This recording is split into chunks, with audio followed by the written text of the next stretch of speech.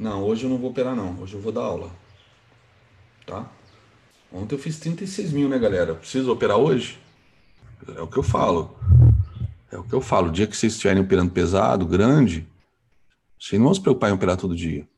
E se o mercado andar para lá, para cá, não importa. Vocês não estão nem aí. O dinheiro está na conta. Né? Tá me ouvindo, Paula?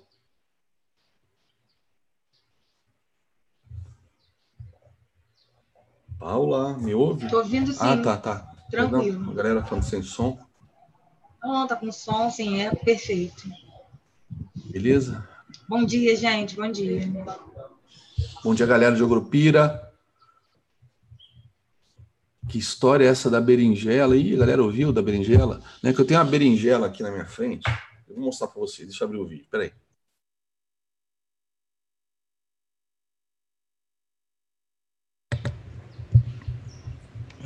Mostrar aqui, ó. Tá vendo aqui? Deixa eu quanto tempo demora para aparecer. Dá para ver a berinjela? É esse microfone aqui, ó.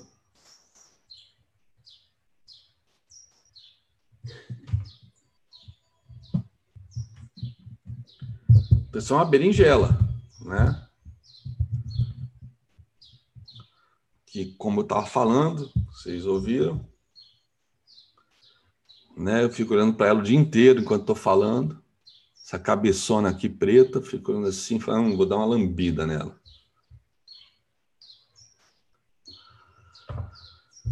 Mas vamos lá, deixa eu tirar o vídeo para não ficar em cima do gráfico.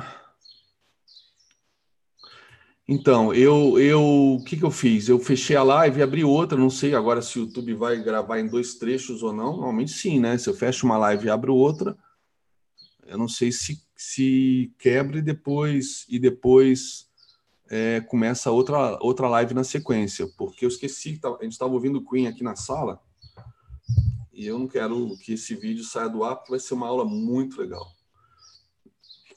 Tá bom?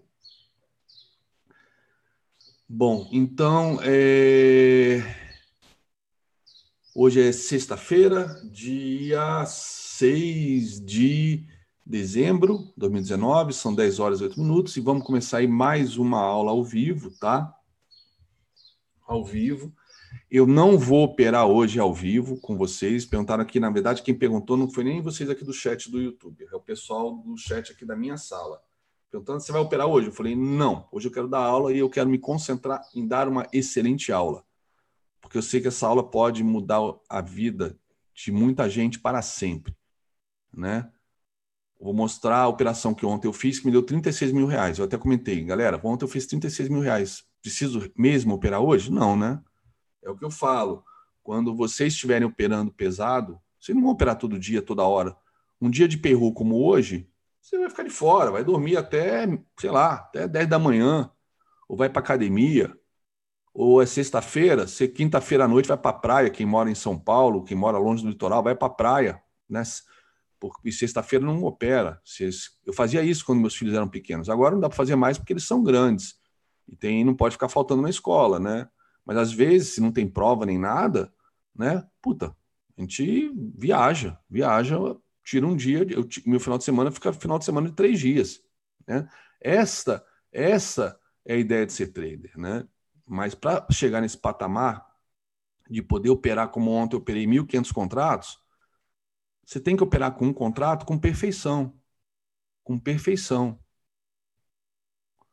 Só que operar com, com perfeição leva tempo. E mesmo assim, perfeição não existe, né? Mas você tem que buscar essa perfeição no trade. Por isso que a questão do diário é tão, tão, tão importante. Ele é o melhor livro de análise técnica do mundo, o seu diário, mas também tem que ser feito, não pode ser nas coxas. Não é diário de contabilidade, né? Não é para anotar quanto ganhou, quanto perdeu, onde entrou, onde saiu. E tipo, ah, eu, eu errei porque rompeu, mas eu entrei antes do candle se fechar. Peraí, tudo bem, mas é um erro primário que a gente aqui não comete, que a gente não pode cometer. Mas por que entrou? Né? Aonde estava o stop? De, onde estava o alvo de gain? Aonde seria o stop de loss naquela entrada? As três coisas estão batendo? né? Então, uma das coisas que a gente vai trabalhar bastante agora na sala, agora em 2020, é justamente isso. E uma das novidades que eu até comentei no vídeo de ontem, não sei se todos assistiram, né? Então, como esse, esse vídeo vai ficar gravado no YouTube, é legal para deixar do, é, registrado isso. A partir de janeiro, dia 6 de janeiro, vamos ter um trader profissional, né? É, com uma sala paralela à minha, né? uma sala de formação sem, sem estar operando, apesar do que a minha também é uma sala de formação, só que eu estou operando. Então tem o lado emocional o tempo todo, não só de vocês, como o meu também, né? É, mas essa sala vai ser uma sala focada 100% só na parte didática. E qual a ideia? A partir de janeiro, aqueles 15 dias de quarentena que eu impus para todo mundo que quis entrar no projeto este ano, só entrava depois de 15 dias para assistir os, os para poder usar esses 15 dias para assistir as minhas 80 horas de aula, né? Então, 15 dias, estamos falando de 10 dias úteis, né? 10 pregões, 10 pregões, 80 horas, 8 horas por dia. Então, ao invés do cara ficar 8 horas sentado com a bunda operando e fazendo, e fazendo merda porque não sabe nada, o que, que eu pensava? Ele vai ficar 8 horas por dia assistindo minhas 80 horas, né? Em 10 dias ele acaba e, na, e depois vem para o projeto. O que, que eu percebi ao longo deste ano? Que muitas vezes a galera confundiu com, com irritação e era irritação mesmo, vai. É, mas, mas era uma irritação, assim, na minha opinião, até é, uma irritação razoável, né? Do tipo, puta, o que, que é bandeira? Aí eu fico assim, porra, o que, que é bandeira, meu? Tá de sacanagem? A coisa mais importante, o padrão mais importante da sala que a gente usa para operar tendência, o cara não sabe. O que, que ele fez nessas duas semanas? Não assistiu as aulas? Né? Fora que quem entra na sala pelo, pelo, pelo, pelo menos já deve me conhecer do YouTube. Não, né? Ninguém entra na minha sala sem saber quem eu sou. Né? Então, quantas vezes eu já falei sobre isso? Aí vinha sempre as mesmas perguntas: o que é bandeira? O que é deriva? O que é VWAP? E eu ficava puto, né? Quando eu tô com paciência, eu explico de boa. Na verdade, eu explico quase sempre. 99% das vezes, 100% das vezes eu explico. Só que, sei lá, 30% das vezes eu dou um esporro antes eu dou um esporro antes. Ou 50% da vez eu dou um esporro antes. Sabe por quê que eu dou esporro antes? Não é porque eu sou, né, eu sou é, estourado, apesar de eu ser, não é por isso. Porque eu sou ogro, apesar de eu ser. Puta, eu tô me enrolando aqui na explicação, né? Mas na verdade, eu dou esporro, né? Eu, eu tava falando até com o meu coach aí no, na, no sábado com a minha esposa. Você adora explicar, você adora dar aula você dá um esporro e depois explica, né? Foi quando a gente começou a discutir a, a necessidade de ter alguns níveis básicos no projeto, né? Então, o que, que eu percebi depois de, de um ano? Que ou a galera realmente caga para os vídeos, porque só quer entrar na sala porque está querendo call, está querendo call, e é o que eu já percebi com algumas pessoas essa semana que entraram de Black Friday, infelizmente, é o que acontece todo ano. É, quer call de qualquer jeito, quer, quer, acha que vai chegar aqui, vai esperar uma hora e falar, pode comprar aqui em tal lugar, e o cara vai, compra e ganha o dinheiro, né?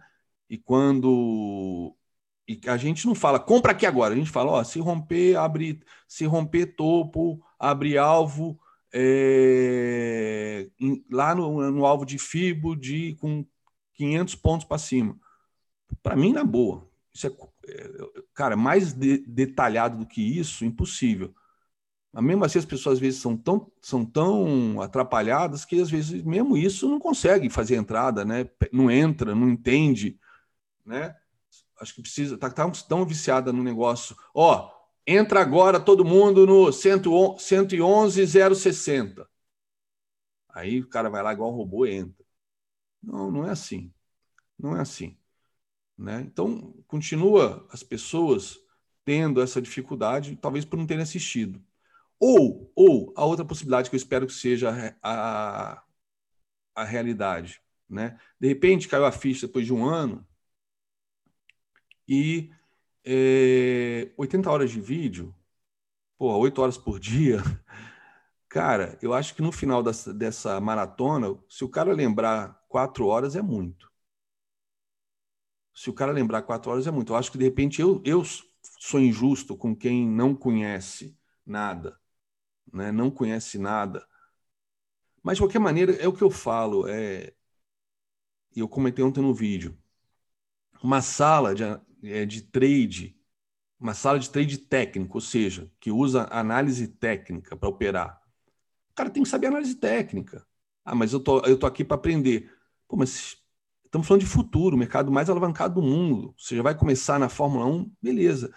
Né? É, ontem mesmo conversando, fazendo, conversando não, fazendo vídeo, eu tive uma reflexão né, sobre isso. Eu falei, porra, eu tô comendo o rabo de, todo mundo que chega é, sem saber nada, faz um monte de merda no índice, operando com alavancagem, né? Fala, mas você tá maluco? 500 contratos no mínimo, vocês têm ideia de quanto você está operando? Está operando 20 milhões, tem quanto na conta? Você tem 10 mil, pô, olha o tamanho da alavancagem, vai perder os 10 mil, né? Coisas desse tipo, né? É...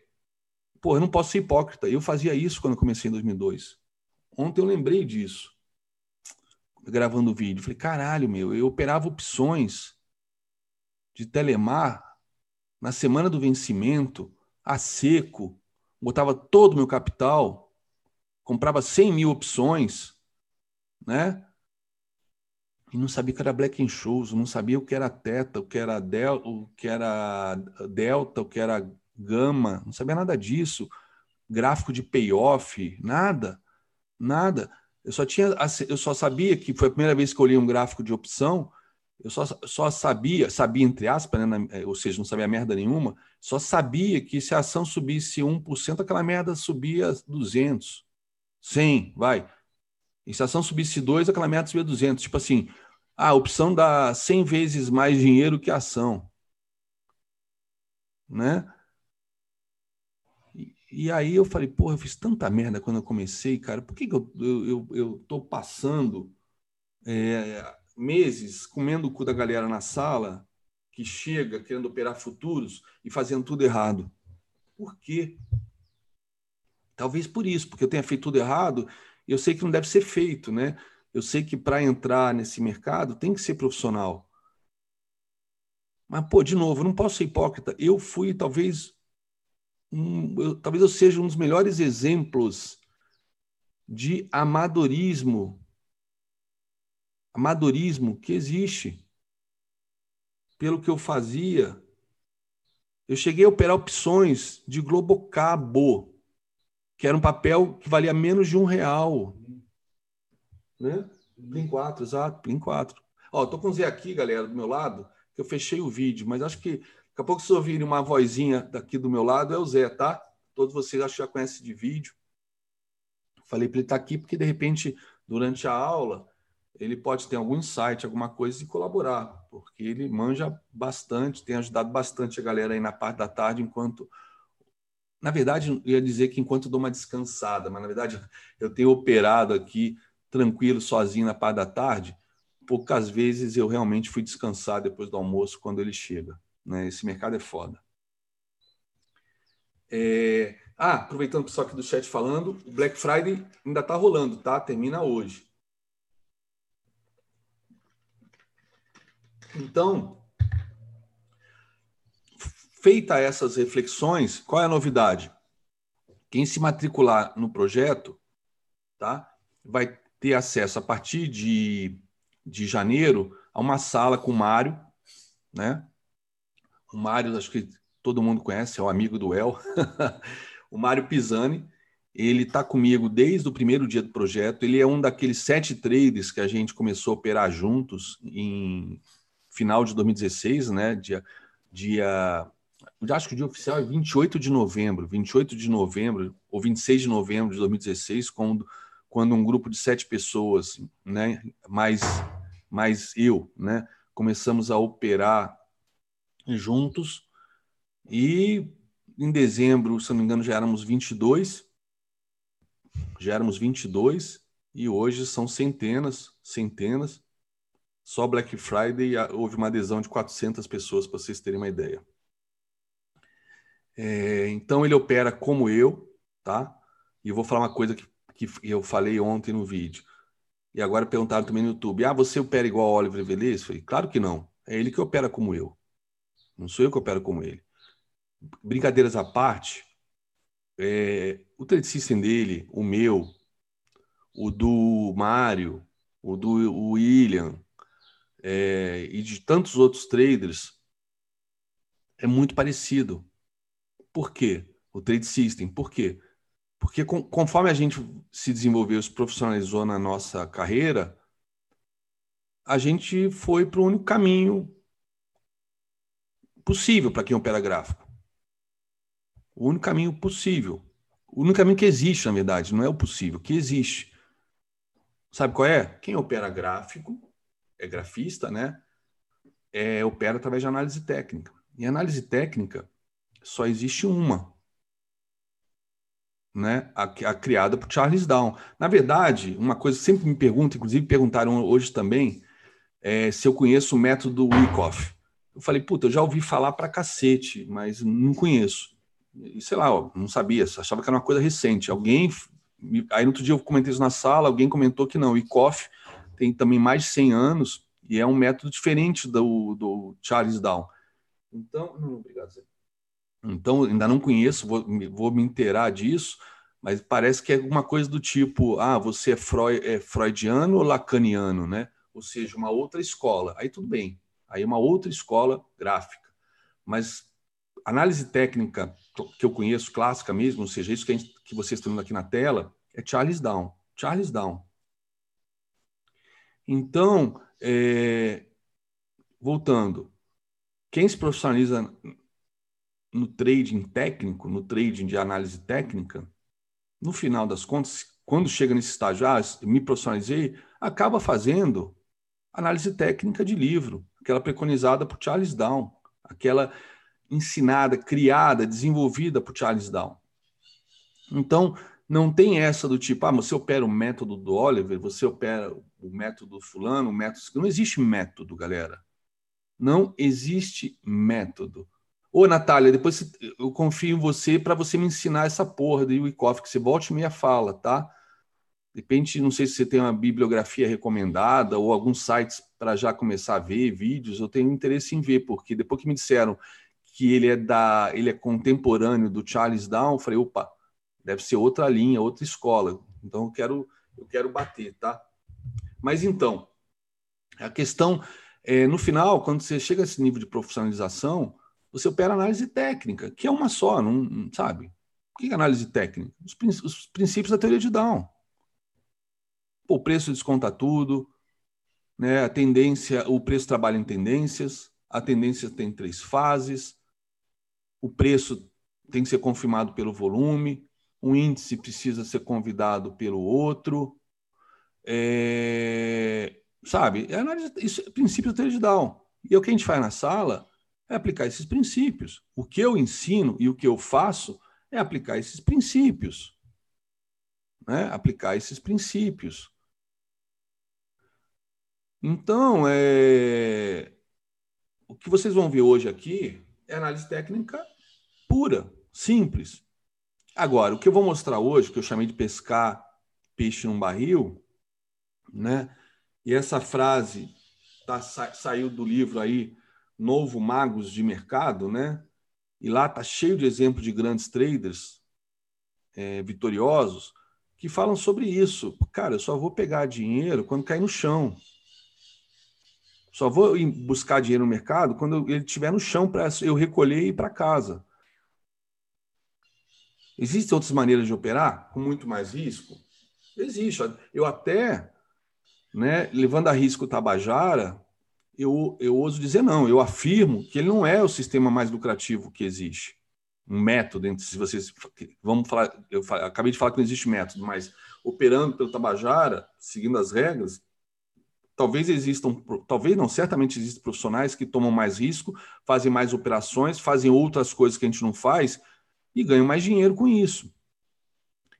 Mas qual é, qual seria a beleza do Tabajara né? ou análise técnica clássica, seguindo tendência, etc., do que eu faço aqui. Pô, é, tentar evitar ao máximo tomar stops. E também tentar entrar em operações com um momento que não dão calor para o trader, sabe? Porque eu sei que o iniciante, ele até pode ser um puta analista, bom para caralho. Mas na hora que ele boleta, o analista morre e surge o trader emocional, o trader emocional. A minha aula de é, é, ai meu Deus, trailing stop que eu dei na quinta, na verdade, a primeira vez que eu dei uma aula de trailing stop foi aqui no YouTube mesmo, há uns, cinco, uns quatro anos atrás, e depois disso até incluí na, na ementa do curso de análise técnica da, da BMF Bovespa, que eu dava aula, eu incluí esse módulo para encerrar a análise técnica. Eu dei essa aula de trailing stop há quatro anos atrás porque um cara me procurou no Facebook dizendo, André, eu acerto 85% das minhas entradas. Caraca, e ainda mandou na sequência, eu sou bom para caralho na análise. Eu falei, nossa, né? Aí depois ele falou, mas eu nunca fechei uma semana no positivo. Nunca, nunca. Eu falei, meu Deus. Então, conversando, chama a conclusão que o problema dele é o de todo mundo. Alfaçar. Teoria da perspectiva. Ganha pouco e perde muito. Que foi o tema da aula passada de quinta-feira. Né? Que é onde eu percebi que a maior, a maior é, utilidade do Fibonacci é justamente traçar alvos e a gente ter um plano de trade para ir, ir, lá até aquele alvo. Então, no meio do caminho, até chegar lá, né, esse era o primeiro ponto, para o cara ver um alvo. Então, ele olhar e focar e acreditar que vai naquele alvo, e com isso ter, é, ter é, o estômago para não alfaçar, porque ele tem uma perspectiva de onde pode ir. Então não é porque ah, andou 300 pontos, voltou 150, ah, vou zerar, né? sair com 150 pontos. Não adianta. Então, é, o alvo era fundamental, mas só o alvo não é suficiente, porque e a condução do trade até lá, como é que a gente faz? Né? Aí entra o trailing stop, tá? O trailing stop. Para justamente o cara não alfaçar. E aí eu dei várias alternativas de trailing stop na quinta-feira, vocês vão ter que descobrir qual que é a melhor para vocês. Né? Qual o trailing stop que vocês vão usar para chamar de seu. Mas tem que ter um, para evitar o alfaçar. E o alfaçar é o maior problema do trader, do investidor. Não é só do trader, do investidor. Porque ele, né, conforme eu vou dando aula, é impressionante como eu estou aprendendo aqui dando aula. Como eu estou juntando todas as peças do, do, do quebra-cabeça que é a arte da especulação, do trading, né? E quem fala esse termo arte é o Martin Pring, que eu amo de paixão, né? Ele fala que a análise técnica é uma ciência, mas também é uma arte. Então, estou juntando tudo isso que antes eu já juntava, mas agora estou juntando de uma maneira mais estruturada, justamente para tentar resolver o problema da galera da sala, da galera que chega desesperada. Felizmente ou infelizmente, não sei, talvez felizmente para mim, em termos de confiança, é muito, é muito bom saber disso, mas infelizmente, pelos traders que entram na sala, acho que 95% das galera que entra aqui no projeto entra porque perdeu tudo e perdeu a confiança e alguns perderam a família por causa disso, né? Que é uma coisa que eu tento também, na minha limitação, tentar ajudar, ver como posso ajudar a reverter um cenário desse, de família destruída, né? família seja é, marido com mulher e filhos, seja um filho com, com pai, mãe, com irmãos, né, que pegou grana para operar, coisas desse tipo são sinistras. Então, 95% é, por cento entra nesse cenário de total total falta de confiança em si mesmo, confiança na análise técnica também, porque acho que a análise técnica talvez não funcione, é, sem perspectiva, e a gente tem que consertar isso tá? Consertar isso. Perrou. Perrou em 10 segundos, mas espero que vocês não estejam operando. Estou vendo a galera comentando aí no chat. Espero que vocês não, não estejam fazendo alt tab, né? Operando e assistindo, né? Vamos. Essa aula pode. Ó, olha a enfiada. Essa aula pode ser útil para o resto da vida de vocês. O perro é só 15 minutos de. Né?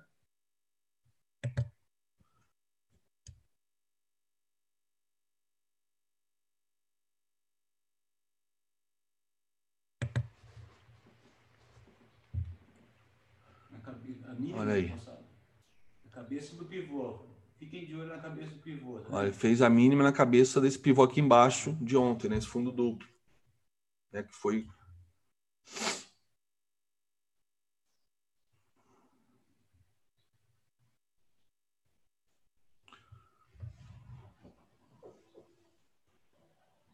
Só acompanhar mais uns minutinhos aqui.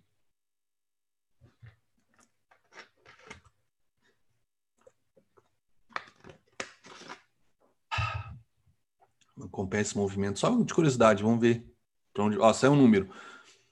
Saiu 266, expectativa era 186. Tá? 266, expectativa era 186. Taxa de desemprego caiu a 3,5 em novembro, previsão era 3,6. Veio contra a DP, né? DP. É, eu, eu, eu, foi o que eu estava comentando com a ADP, eu não acho tão importante assim. É uma prévia, porque é a empresa que com maior processamento de folha de pagamento do mundo. A minha folha de pagamento na Microsoft, na Cisco, era DP. Era DP, é. tinha lá o logo da DP.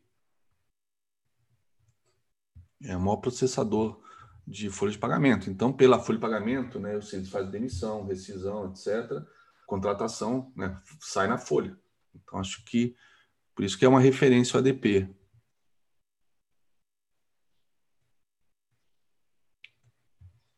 Tá? esperar esse candlezinho fechar, vamos ver como é que ele fecha e a gente já continua a aula. Ah, comenta, comenta com a, com a galera aqui da sala e a galera do YouTube acompanha o que você comentou aí do, do fundo aí da cabeça do pivô. Mostra para eles. Moçada, se vocês pegarem, se vocês pegarem o histórico aí, pegarem é, dias de payroll, fiquem atentos, tá vendo? Isso daqui, se você pegar, isso daqui é uma cabeça de pivô, de um pivô maior, tá? Isso daqui é uma cabeça de pivô de um pivôzinho menor, ó, fundo, é, fundo, topo, fundo no mesmo nível, que é um fundo duplo. As mínimas e as máximas, a máxima aqui eu vou, eu vou considerar aqui que é o topo histórico, né? não tem um pivô de baixo, porque a gente tem topo histórico, mas nas pauladas de payroll, de Fed, decisão de juros, de ata, as extremidades, tanto na, na de baixo quanto na de cima, ela para nas cabeças de pivô, onde deu start de movimentos, tá? No caso aqui, ó, é na cabeça desse pivô, que coincidentemente é esse topo aqui, tá vendo? Então a gente fica de olho, fica de olho para ver aonde pode ir, é, o porquê que veio aqui. Aqui está rompendo o topo histórico e a gente não tem um pivô de baixa para ele estar tá testando lá, mas é, só por causa disso. Mas ele veio exatamente na cabeça de um pivô. Se vocês pegarem histórico é, de payroll, de Fed, onde tem esses candles de paulado, assim, de volatilidade, a, a, grande maioria, a grande maioria, não vou falar 100%, porque nada é 100%, né? A única coisa que a gente sabe é que a gente tem um limite aqui na Terra, mas a grande maioria, as extremidades são testes na cabeça de pivô, entendeu? Antes de assumir um, uma direção, igual aqui, ó, ele veio, já socaram para baixo, testou aqui e começou a subir ok? Vocês olhem que isso daí é bem interessante. Se alguém quiser, né, é, é, vai de cada um é, operar isso, isso daí, ao invés de estar posicionado para o número, posicionado para o Fed, para o payroll, você pode, deixar uma venda ou uma compra nessas cabeças de pivô. Bota um stopzinho aí com o que você considere e entra. Isso daí vai do gosto de cada um, né? Eu não, não opero essas, essas volatilidades insanas aqui. Beleza, moçada? Ó, rompendo aqui, ó, rompendo toda essa pernada de baixo aqui, a gente tem um alvo bem, bem lá em cima, né? Vamos pôr aqui, ó. Tá vendo que isso aqui foi uma... Opa, peguei o... Errado aqui, ó. Deixa eu pegar aqui, ó a gente, a gente considerando isso aqui, ó, uma, uma pernada de baixa que está sendo rompido por esse, por esse candle aqui, a gente tem um alvo bem lá em cima, hein, moçada?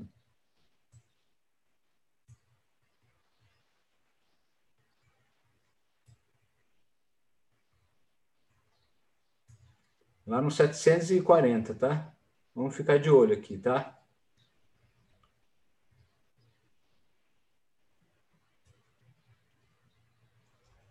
Deixa eu ajeitar aqui certinho. A mínima. Minha máxima. Lá no 740, tá? Vamos ver se vai. Beleza? Ah, o dólar, eu não, eu não vi o que aconteceu no dólar. Eu só estou com a tela aqui do.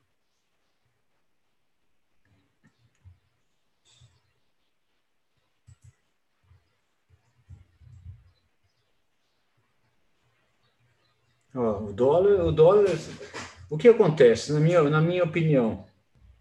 É, o dólar, ele não teve uma volta tão grande na bolsa, porque o que acontece? O número lá nos Estados Unidos é de uma economia positiva. Economia positiva lá nos Estados Unidos, ah, tá errado? Peraí, ah, desculpa. Tá vendo? Economia positiva lá nos Estados Unidos é, tira o, a pressão do Fed de derrubar a taxa de juros, tá? Enquanto aqui a gente ainda tem uma expectativa de queda de meio, o que vai apertar mais ainda o diferencial de taxas de juros lá de fora para cá. Então, né, pro dólar, pro dólar, eu acho que não é um sinal positivo. Porém, para a bolsa é, é positivo porque mostra uma economia mais aquecida, tá? Então, é, é esse é o meu ponto de vista. Ele está respeitando aquele 81. Eu volto a, a frisar e chamar a atenção de vocês se perdesse 81, se perdesse 81, abre queda, abre um, um, um caminho para dar uma boa realizada no dólar, tá bom, moçada?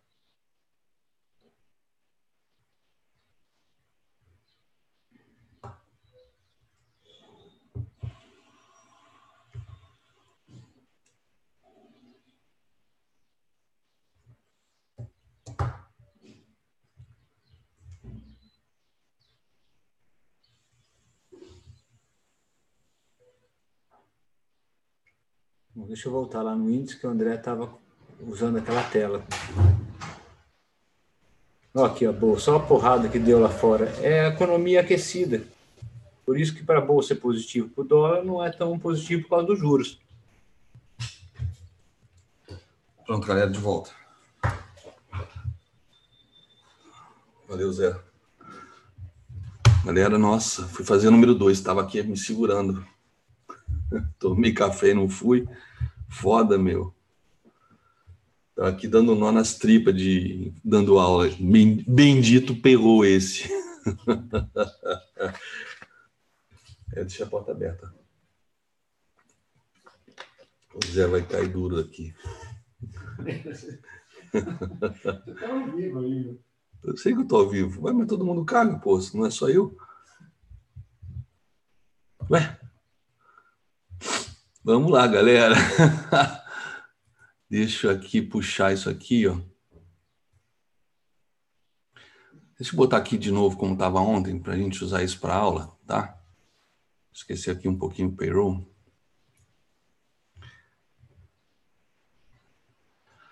Trader sem lojas. Paulo, tem um para ser bloqueado, tá? Cara, é... posso fazer o seguinte? Posso te mandar um relatório de 2010, quando o Mark Zuckerberg batia a bronha e operando 500 dólares? Posso? Trader sem loss. Para você ver que eu opero desse tamanho há uma década? Eu, hein? Bom, vamos lá.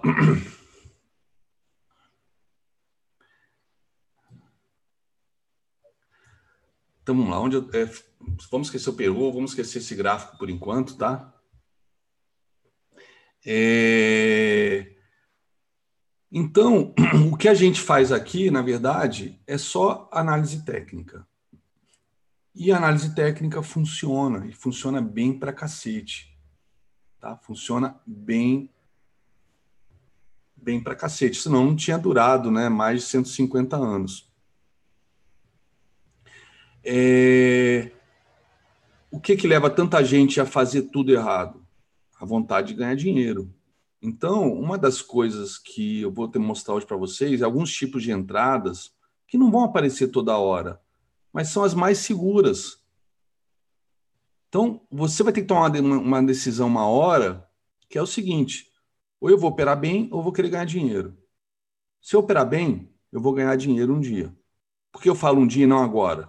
Porque para você operar bem, inicialmente, você vai ter que operar muito pequenininho para não ficar sofrendo os efeitos da emoção. Seja a vontade enorme de botar o dinheiro no bolso, alfaçar, seja, seja é, botar stop no lugar errado, porque o stop tá, para você está caro, né?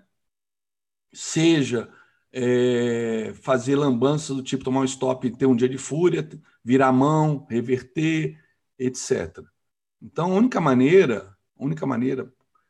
Então, dá para botar câmera, só que a câmera aqui no, no Zoom, quando joga para o YouTube, ela fica no canto superior direito, não tem como ser diferente. Deixa eu ver se eu. De repente eu, eu jogo o gráfico mais para a esquerda e aí dá para botar a câmera. Deixa eu tentar aqui. Pra vocês verem a minha cara. Eu também acho melhor a interação eles me vendo, né? Deixa eu ver assim. É que pode ficar em cima dos. Bom, em cima dos valores não, não é importante. Deixa eu ver, deixa eu botar a câmera aqui. Só um segundo.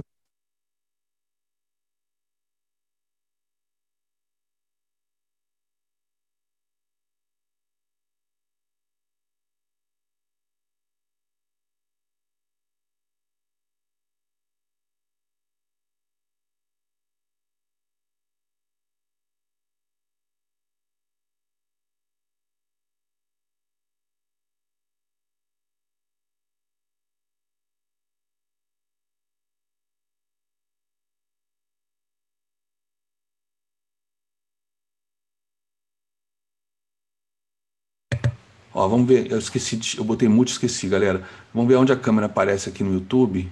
O delay tá de. Nossa, o delay pro YouTube tem um minuto e meio de delay. Será que é só aqui, só eu?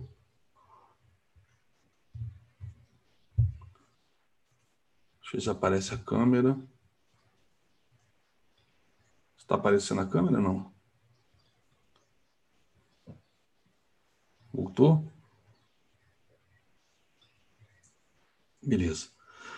Só ver onde aparece a câmera no YouTube para a galera não ficar sem canto superior direito. Mas dá para ver o gráfico inteiro ou está tampando algum candle? Ah, pronto, agora vai aparecer. Deixa eu ver. Deixa eu ver. Ficou bom?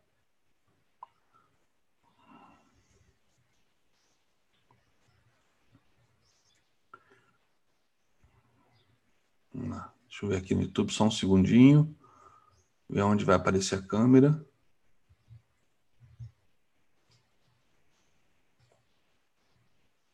YouTube para apertar o F5 a cada 20 minutos que o delay fica em 8 segundos. Ah, a câmera tá legal. Dá até para puxar mais um pouquinho o gráfico para cá. Pra... Pronto. Então, qual é o objetivo desta aula? É mostrar as entradas mais seguras as mais técnicas, as de livro, tá? Porque, como sempre falo, livro não mostra operação dando stop, só mostra operação dando certo. Só que os próprios livros têm centenas de modelos de operações, de entradas, né? Só que a gente só precisa, sei lá, de uma, duas para ser feliz. Só uma, duas para ser feliz. Por exemplo, essa entrada de ontem que eu fiz, com a mão pesada. Mesmo com a mão pesada, eu fui piramidando, não foi tudo de uma vez.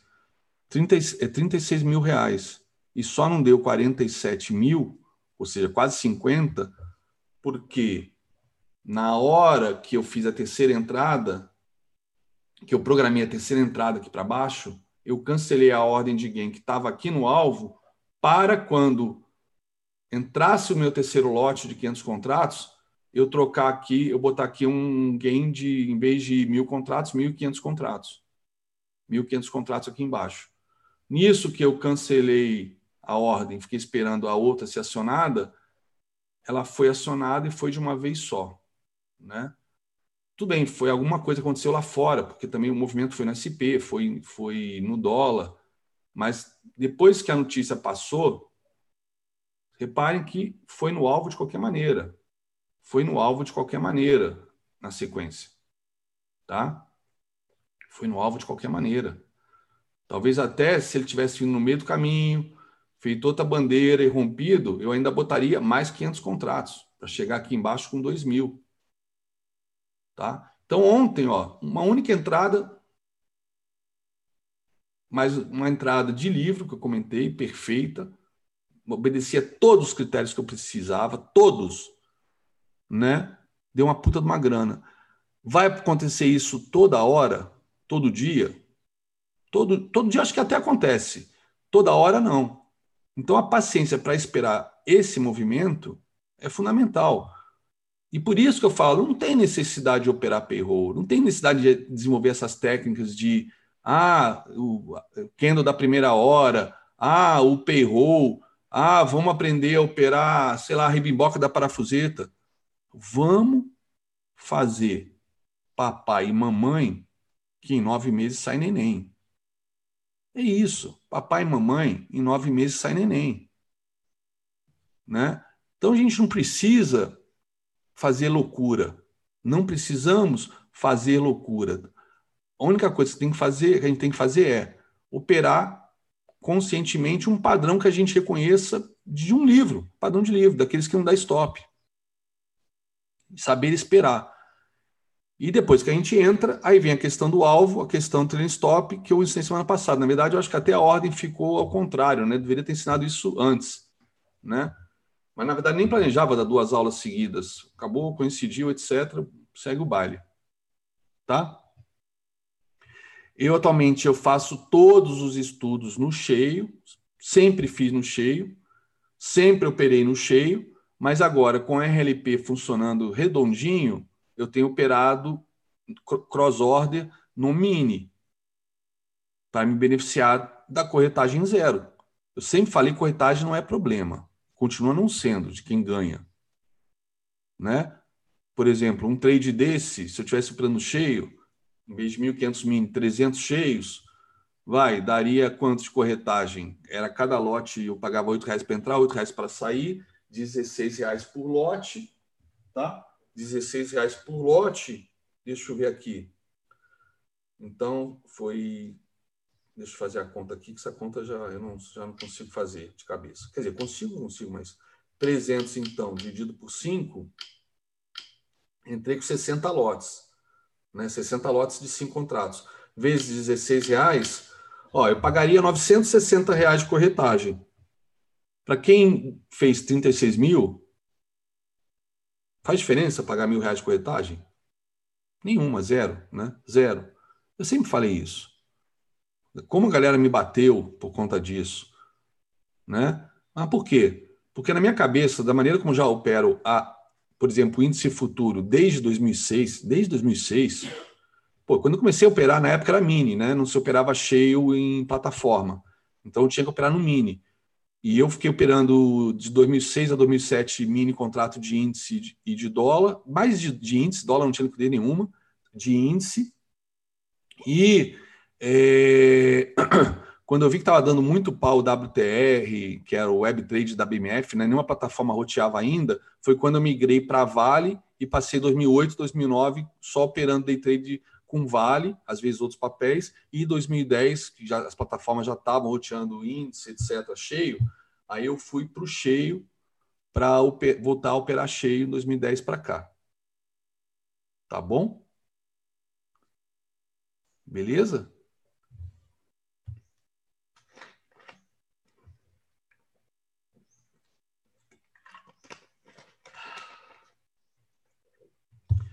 Bom, galera.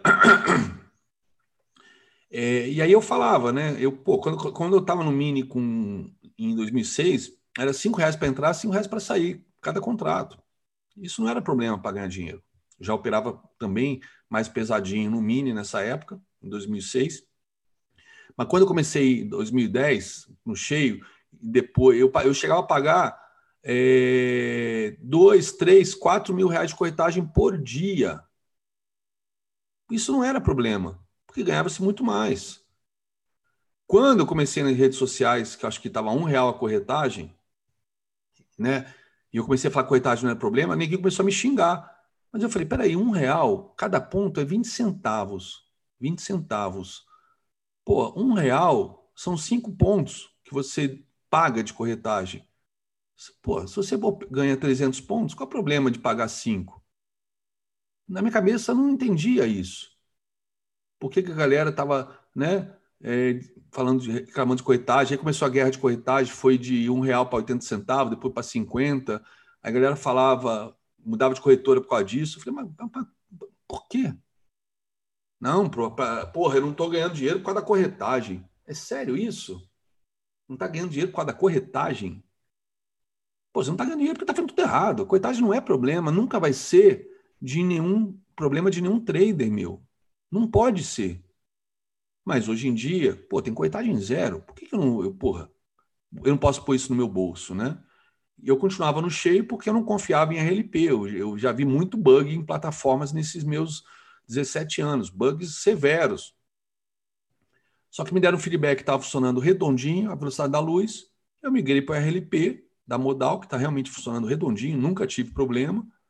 Minha corretagem agora é zero e opero mini. Então, esse, essa operação foram 1.500 minis ao invés de 300, 300 cheios. Né? Ou seja, ao invés de eu entrar com, com 100 cheios na operação, que é como eu gosto de abrir a operação, eu abri com 500 minis.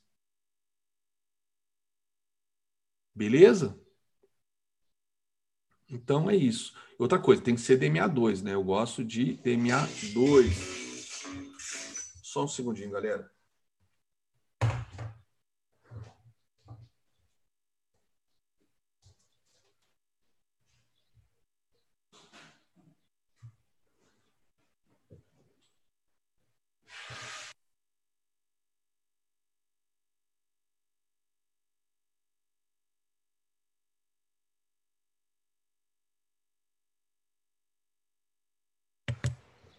Pronto, voltei, galera.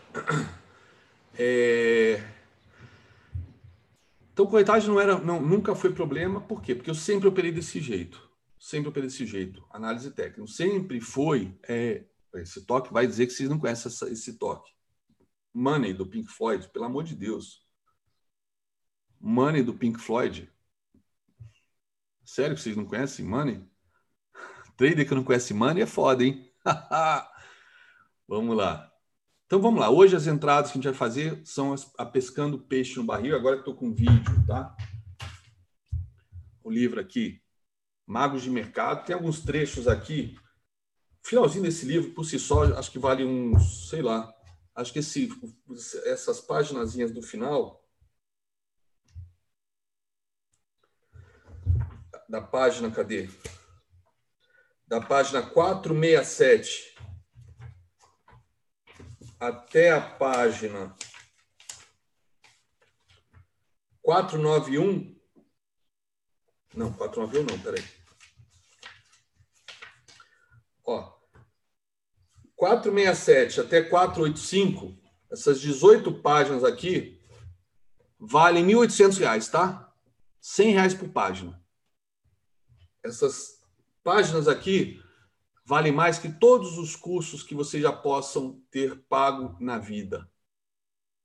Se realmente vocês lerem isso e aplicarem o que está aqui escrito, vale mais que qualquer curso já feito na sua vida. Tenho certeza absoluta. Essas 18 páginas. Só que 18 páginas é isso. Tem o resto do livro inteiro para vocês lerem. O que, que a gente tem nessas 18 páginas, né? Deixa eu dar uma, procurar alguns trechos aqui comentar com vocês, que tem tudo a ver com essa aula de hoje. Né? Ah, que legal. É, são, 18, são 42 tópicos, né? resumindo, 42 tópicos resumindo a real vida de trader, a real profissão de trader. Né? Por exemplo, tópico número 2. Examine seus motivos. Pense sobre por que você realmente quer operar. Se você quer operar pela emoção, seria melhor estar andando de montanha-russa ou voando de asa delta. No meu caso, descobri que o motivo é, subjacente à negociação era segurança ou paz mental, dificilmente o estado emocional típico do trading. Outro motivo pessoal para operar foi que eu adorava solucionar quebra-cabeças e, os mercados forneciam quebra-cabeça ideal. Vai falando. O mercado é um mestre severo. Você precisa fazer quase tudo certo para vencer. Quase tudo certo para vencer. Se uma parte sua está puxando em direções opostas, o jogo é perdido antes de começar. Esse é o segundo, é o segundo. E segue por aí. Né? Adequar o método operacional com a sua personalidade, mais um tópico. É absolutamente necessário ter uma vantagem. Ó, outro tópico que eu até já gravei um vídeo sobre isso. Qual é a minha vantagem? Qual é a minha vantagem operando? Qual é a minha vantagem, galera? Eu opero a favor da tendência, porra. Eu estou operando a direção, está todo mundo operando. Os grandes players né, estão operando. Eu não fico procurando fundo quando está caindo. Eu não fico procurando topo quando está subindo. Eu espero os grandes players me mostrarem isso. E não é um candlestick que vai mostrar isso, até dá. Mas, porra, é, pode, é um candlestick, é o volume, é o alvo de FIBO que foi atingido, é uma série de coisas que eu posso operar retração. Retração, perdão, reversão. Mas mesmo com esses cenários de reversão explícitos na minha cara, né, se eu realmente seguir essas regras, procurar esses padrões, a probabilidade de acerto vai ser muito maior. Mas é uma zona sempre de muito, muita briga, porque nem todos os players estão querendo reverter naquele ponto. Tem gente que quer puxar mais. Então, de repente, ali é uma zona que ainda rola chances maiores de stop. Posso arriscar entrar? Posso. Posso. Se realmente eu for um cara bem técnico, eu vou acertar muito mais do que vou errar. Né? O Albrooks fala que reversão 80% das vezes falham. Eu acho que se a gente operar com, com, com técnica, né, com contexto e com paciência para esperar boa reversão, acho que a gente acerta, sei lá, 60% delas. Mas não é mais fácil operar a favor da tendência? Ou seja, essa é a minha vantagem. Eu estou operando na direção de, do que todo mundo está fazendo. Né? Né? Se você não pode, você não pode ganhar sem ter uma vantagem, mesmo com a maior disciplina do mundo. É aquilo que eu falo.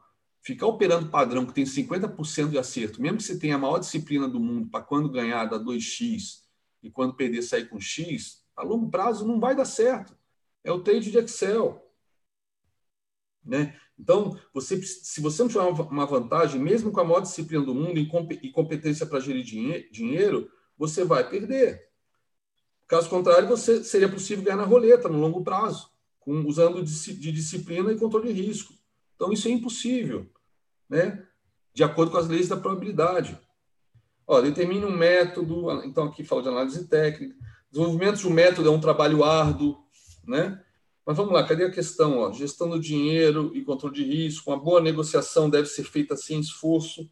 Olha que legal. Na parte de cima, ó, habilidade versus trabalho árduo. Aí ele comenta né, que, por exemplo, mais que eu, que eu corra, sei lá, vamos supor que eu tivesse 20 anos ainda, por mais que eu treinasse 8 horas por dia, corrida, né, eu não ia correr mais rápido que o Zen Bolt.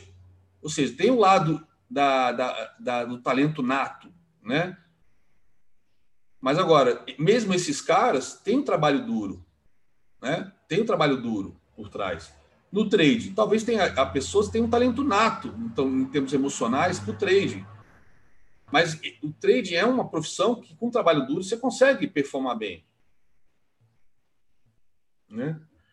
Um bom trading deve ser feito sem esforço. Né? E até ele fala, peraí, mas em cima você fala que o trabalho é árduo. O que? O trabalho é árduo para você aprender. Agora, a operação tem que ser sem esforço. O trade dá o sinal, você entra, programa o alvo, gerencia o stop e acabou. E é como acho que o Mark Douglas, acho que o Mark Douglas que fala, a, o processo inteiro você tem que ser apaixonado por ele, você tem que curtir ele do início ao fim.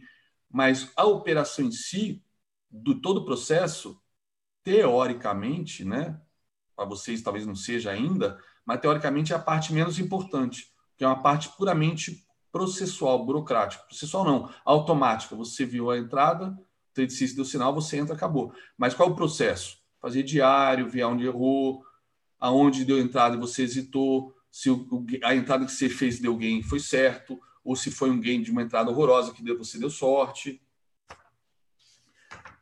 Ó, mas a questão da disciplina, plano de operação, etc. É...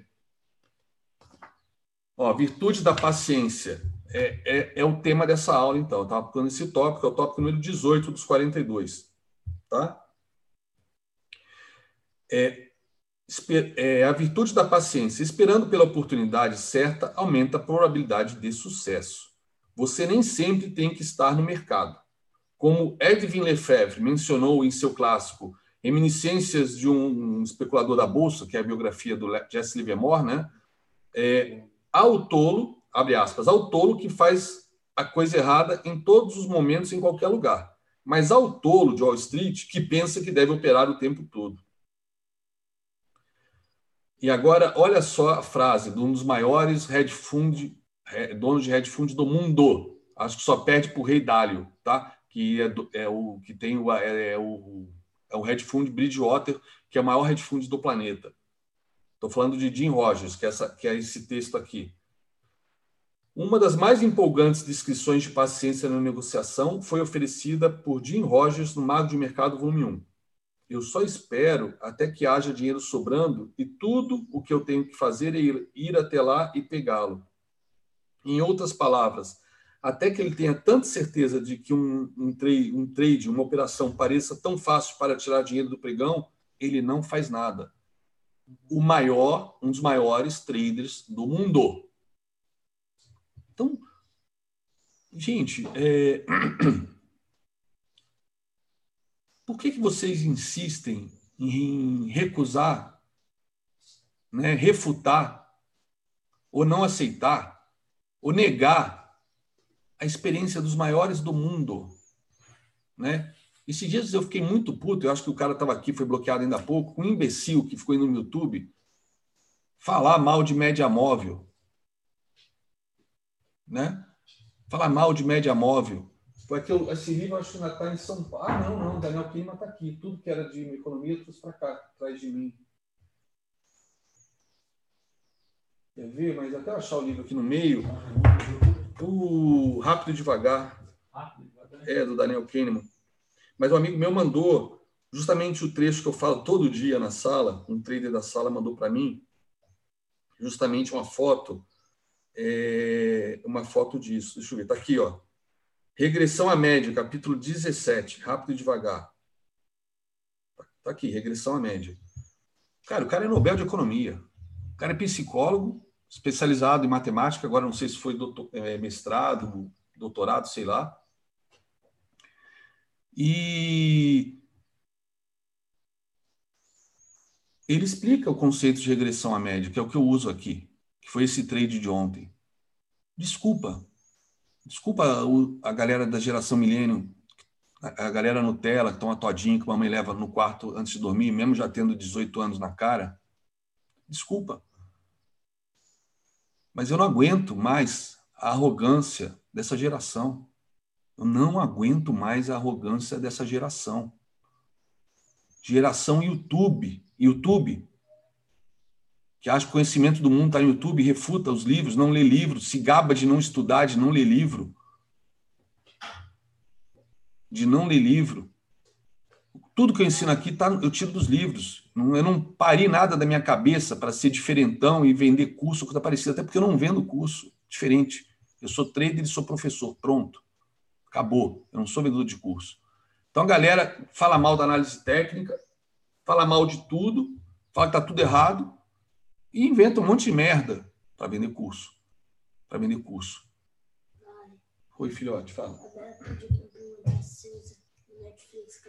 Ah, eu não sei a senha do Netflix, filha. Agora eu não vou poder ver. Fala para ela ver no meu celular. Não lembro a senha. Troquei a senha esses dias. Então, é... puta, eu e a galera da sala, que a gente usa a média todo dia, te ganha dinheiro pra caramba com isso. Como é que alguém pode dizer que média não funciona, que média não existe? Que média não é coisa de profissional? Aí eu ainda perdi tempo refutando. Cara, meus amigos de, de banco, de tesouraria, todos né, que já me mandaram gráficos, tem três médias no, nos gráficos deles.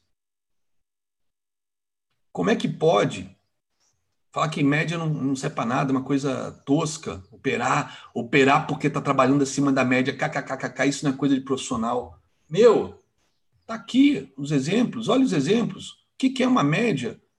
Simplesmente não é um indicador, indicador mágico nem nada, é um, um cálculo matemático aqui que me diz para onde está indo o preço, a direção do preço, só isso, nada demais. Assim como eu falei ontem, o Boletim Focus, todo dia tem as médias. Todo dia, toda segunda-feira tem as médias é, de, dos maiores dealers do Banco Central em cima da Selic, da, do, do PIB, é, do dólar, é, do IPCA para 2019 e 2020. E além da média deles, tem a média que a gente acompanha das, dos vários boletins focos que saem toda segunda. Para a gente ter uma noção se a média da Selic está subindo, está caindo. E em cima disso, nego opera. Nego opera. DI, toma posição, etc. Então, é... Ó, o Zé não vai, não vai ver dólar, não, Miguel. Desculpa, agora é aula hoje, tá? É aula, Miguel. É aula. Isso que a gente, isso que a gente vai ensinar é para usar pro resto da vida. Quem vai. A gente não vai operar dólar nem índice agora. Tá? Esse dinheiro que a gente pode estar tá deixando de ganhar hoje sem operar. Não, desliga, filho. Eu estou aqui fazendo uma live no YouTube, pelo amor de Deus. Você não vai ver agora. Tá? Não, você vai ver televisão sem som? Como? Você vai ler lábios? De desenho animado? Ah, então tá. Sabia que dava para ver lábio de desenho animado. Então tá, então show. Mas aí tá o Zé sentado aí, filho. Senta mais de trás. O Zé tá aqui comigo. É... Cara, não adianta vocês ficarem. Galera já, galera já achou o livro, Zé, pela câmera. Não, eu não consegui achar, cara. Ele não conseguiu achar. Estamos falando aqui que está na esquerda. Zé, está ali na esquerda. Na esquerda? É, não sei se cara melhor que eu. Qual é, que é o livro? É branco, branco. Lombada branca. Ali, acabei de achar. Olha o meu dedo aqui. Vê se não é esse aqui, ó. Vai para cima, para direita, para baixo. Aí vai para direita. Não, direita, direita, direita, direita, direita, direita. Esse, não é esse? Rápido, cara. Passei batido. Ó, rápido devagar, Daniel Kino. Eleito um dos melhores livros de 2011 pelo New York Times, Times Book Review. Capítulo 17, portanto. Deixa eu ver onde está. Regressão à média. Né? Aqui, isso é, isso é uma técnica pura, ó, falando de ancoragem, capítulo 11.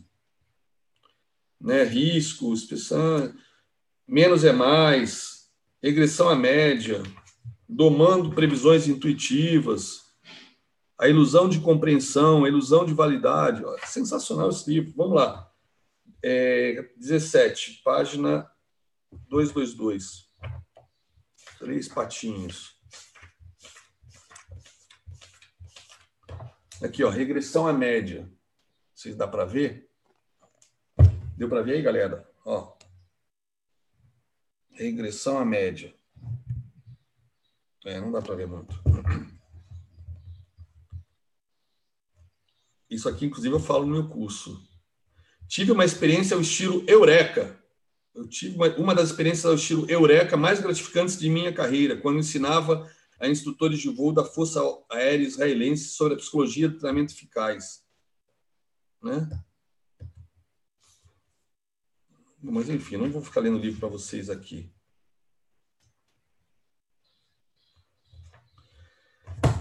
Mas eu lembro esse exemplo da Força Aérea, né? Ele falando da, da, questão da regressão à média, dos resultados dos caras em dogfights, etc. Né? Mas, enfim. É... gente, eu não vou analisar açúcar nem nada, gente. Eu não estou aqui para analisar nada para vocês. Eu estou aqui para dar uma aula sobre como pescar peixe no barril. Galera, pelo amor de Deus, não insistam. Né? Não vou olhar dólar, não vou, eu vou conduzir aqui a aula como achar que tem que ser conduzida. Então, continuando aqui a virtude da paciência.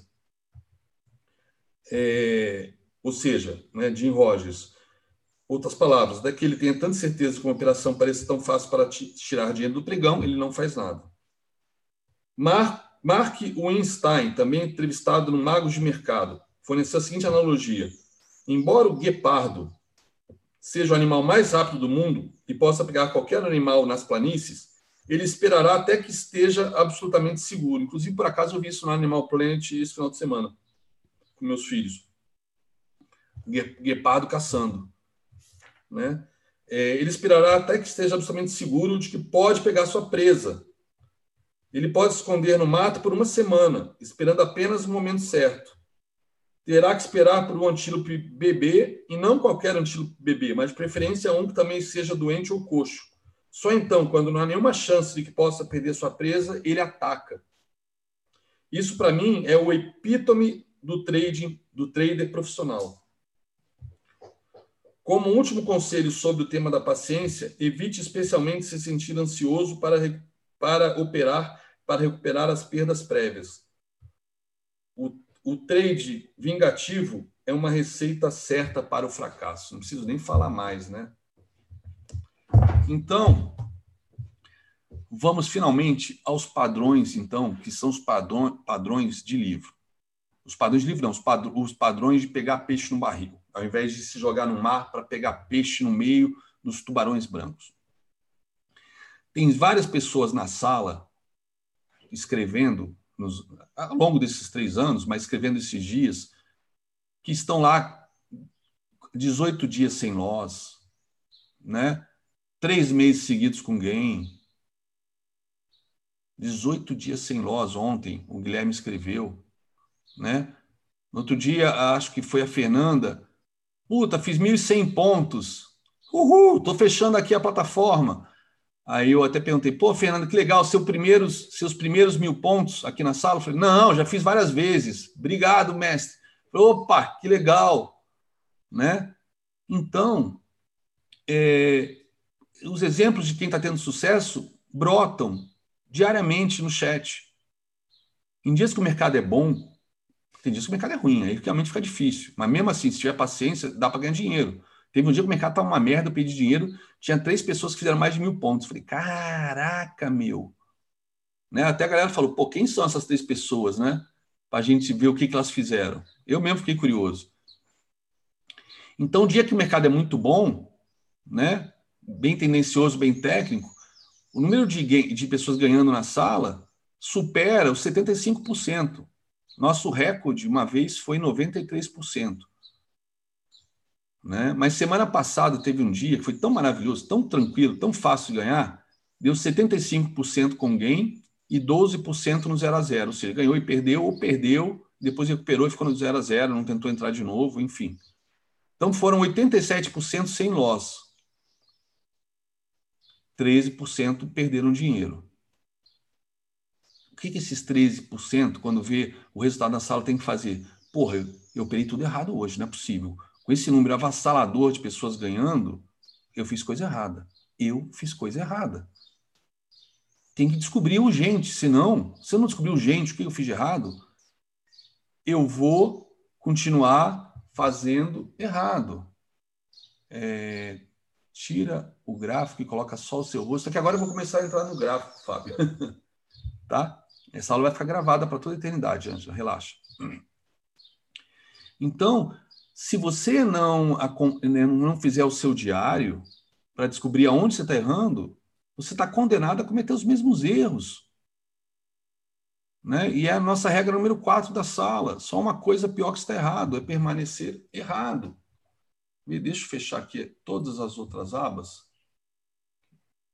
Qualquer coisa eu, eu abro elas depois. Ó. Só há uma coisa pior que estar errado: permanecer errado. Ó, haja in, imediatamente, sem hesitação, quando seu trade system der o sinal. Foi o que eu fiz ontem. Aqui, ó. Opa. Foi o que eu fiz ontem aqui. Puta, entrada linda no meu trade system. O mercado já estava em tendência de baixa corrigiu até a média e voltou a cair. Hora de vender. Então é o que eu falo, é, brincando, né? A gente não procura topo quando está subindo. A gente não procura fundo quando está caindo. Mas a gente tem que procurar topo quando está caindo. Por quê? Em tendência de baixa, o mercado faz zigue-zague para baixo, ele não cai em linha reta. Então ele cai, sobe um pouquinho, cai, sobe um pouquinho, cai, sobe um pouquinho. A gente tem que encontrar esses topos para quando voltar a cair, vender. E quando está subindo, a gente tem que procurar esses fundos, porque ele sobe, cai um pouquinho, sobe, cai um pouquinho, sobe, cai um pouquinho. Depois cai um pouquinho e volta a subir, eu tenho que procurar a minha entrada. Né? Então, operar tendência é a melhor maneira de se ganhar dinheiro. Só que para você operar tendência bem e ter essa paciência, tem uma série de coisas que não sei se a galera está disposta a aceitar ou ter paciência e acatar. Por exemplo, não tentar reversão, não procurar mais reversão. Para ficar com os olhos aguçados, igual o, guepardo, né, que espera, como acabei de falar, espera dias para pegar a presa certa, sem, sem risco de perder a presa.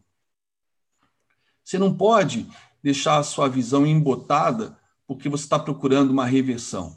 Sabe por quê? O que acontece? Você tenta a reversão três, quatro vezes e toma stop. Na, na quarta ou na quinta vez, você entra de novo teimoso e acerta. E aí o negócio começa a voltar um pouquinho. Mas aí você já está com 100 pontos na mão, você alfaça. Por que, que você alfaça? Porque você acabou de tomar um monte de stop ali naquela região procurando o topo. E eu vejo isso, sabe como, galera? No Times and Trades de corretoras pessoa física. Pega o corretor que vocês sabem que não tem institucional, só pessoa física, por exemplo, a, a Clear, bota ela no Times and Trades e vocês vão ver quando aparecer um candlezinho, uma tendência de alta, uma estrela cadente, num minuto, em dois minutos, nos cinco minutos, vocês, numa tendência de alta, vocês vão ver que o saldo vendedor aumenta para cacete, até porque eles já estão vendidos numa tendência de alta, impressionante já. Eles vão vendendo, fazendo preço médio, né, os traders. E na hora que, que o mercado é, há um padrãozinho desse, a posição vendida aumenta para caramba. Aí sobe um tiquinho já diminui. Né? Então, o que acontece? De tanto tentar acertar topo, quando acerta, não, não pega mil pontos. Por quê? Porque já não tem emocional preparado para isso, para pegar a tendência, né? É, já tomou um monte de stop, enfim, dá tudo errado. Então, igual o Guepardo, a CLIA está vendida agora no, no Times and Trades, vou até ver aqui, quer ver? Olha que interessante. Mercado subindo para cacete no índice, vamos ver. Ferramentas, ó. Vamos mostrar, alguém me deu toque aqui, vamos ver. Times and Trades, tá? Deixa eu botar aqui o WIN Z19. Revolução no tempo. Tá? Opa livre aqui, mercado. É, deixa eu soltar aqui essa janela. Opa. Não, essa aqui, livre. Ó. Vou botar mês livre, botar topo aqui para topo.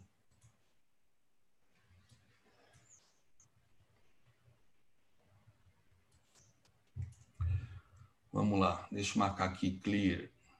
Galera, não estou falando mal de Clear, não, pelo amor de Deus, não quero injeção de saco, não. É que lá só tem TI de pessoa física, né? Então, um belíssimo exemplo. Olha, Clear. Vendido em mil contratos, com o mercado subindo igual uma vaca brava. Tá?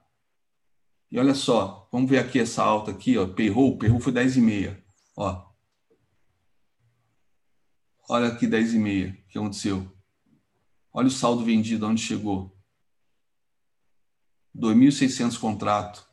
Aqui, 10 e meia começaram a vender aqui, ó. Não sei se foi para pegar payroll, etc. Depois houve em estopando, mas o saldo já vendido, ó. E o saldo agora está aumentando vendido nessa consolidação, né? Ó, o saldo está aumentando. Mil contratos vendidos.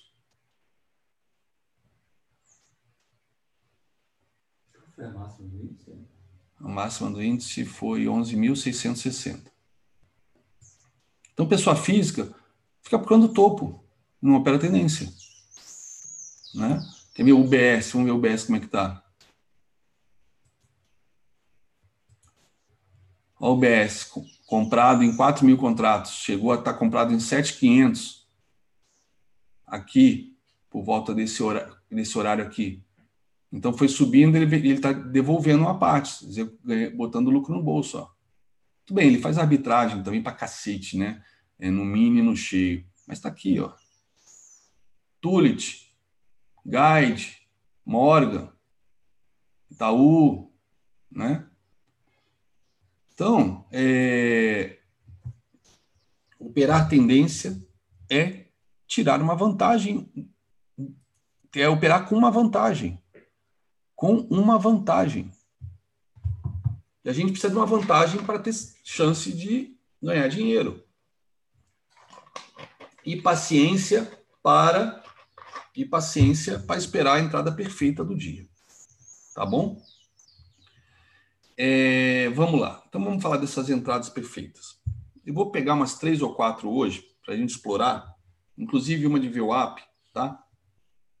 Então essa aqui no índice é bandeirinha. Essa acho que é a melhor de todas. A galera que tem tem muita gente que me tem dado toque do tipo André, puta, eu só tô operando bandeira e tô, e tô há não sei quantos dias, semanas ganhando.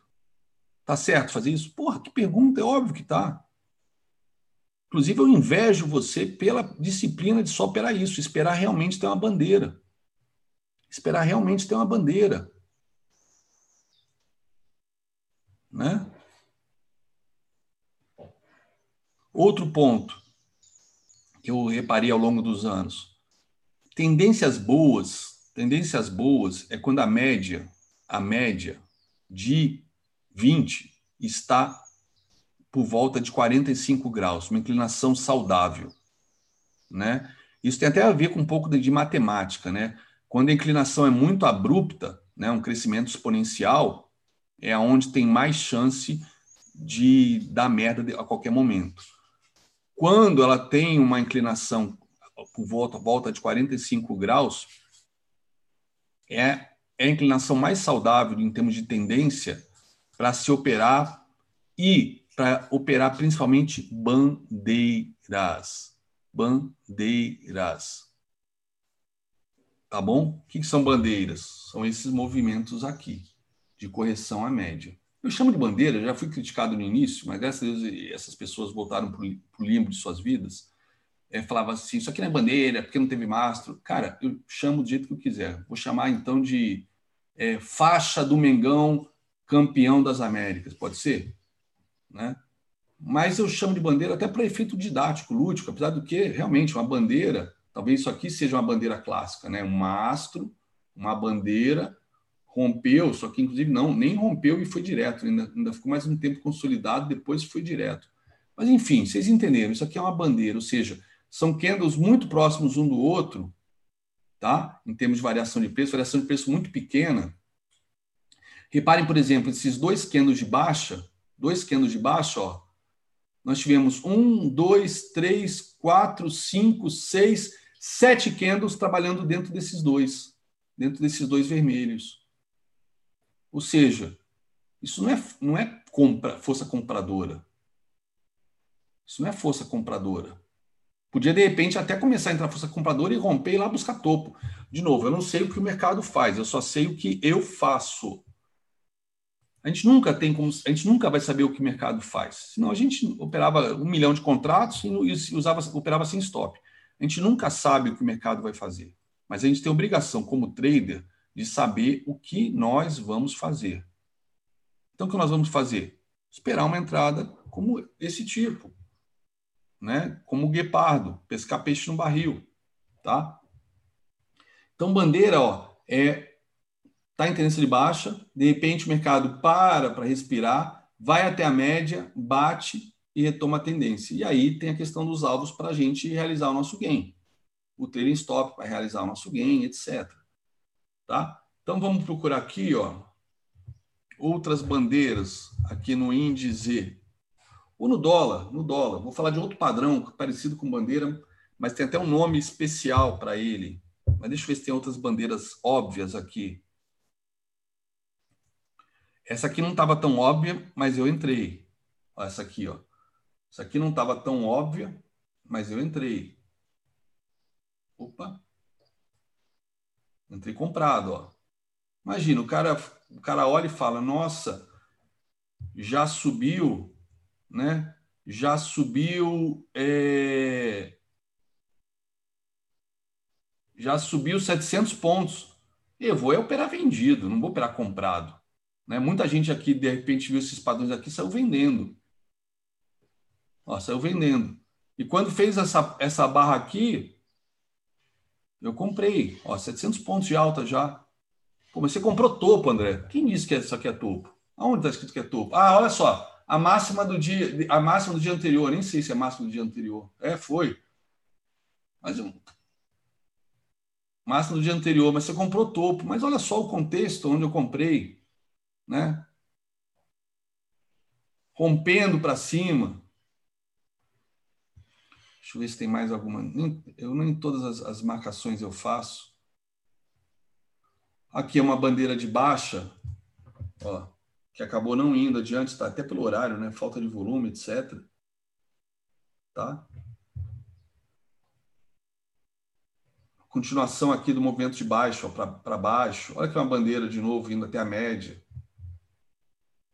Né? André. Oi. É que algumas vezes eu não, eu não opero esse movimento porque eu já estou posicionado tal, provavelmente no dólar nessa hora. Eu não opero os dois simultaneamente. Fala, Zé. Comenta essa bandeira de baixo que não foi, hum. que ela fechou querendo romper a bandeira, mas não perdeu a mínima. Né? É, não perdeu a mínima. Não acionou, não acionou a entrada aqui. Apesar de ter uma bandeira desenhada, não deu entrada que não acionou, não acionou a bandeira, né? E também aquilo que eu falo, não vamos também fazer entrada depois de ter cumprido o alvo de FIBO. Vamos ver aqui, ó. Ó. Olha só. Alvo de 100%. Porra, é, é, eu quase nunca, tem que ter uma, como ontem, tem que ter uma razão muito boa para eu entrar buscando o terceiro alvo de FIBA, que era o alvo de 100%, que a gente chama de segundo alvo na sala. Ó. Então não vale a pena tentar entrar. Ah, mas vai romper, vai no, vai no terceiro alvo. Você tem certeza que vai no terceiro alvo? Tem certeza que vai no terceiro alvo?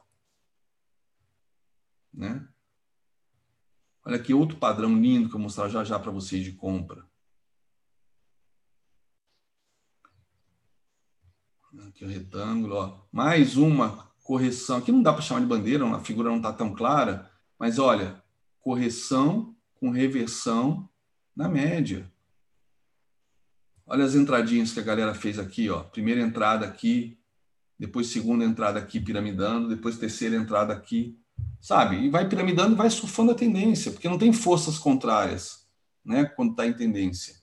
Ou se tem, não, é, não tem força suficiente para reverter o mercado, por isso que está caindo. As forças dominantes são de venda, de queda.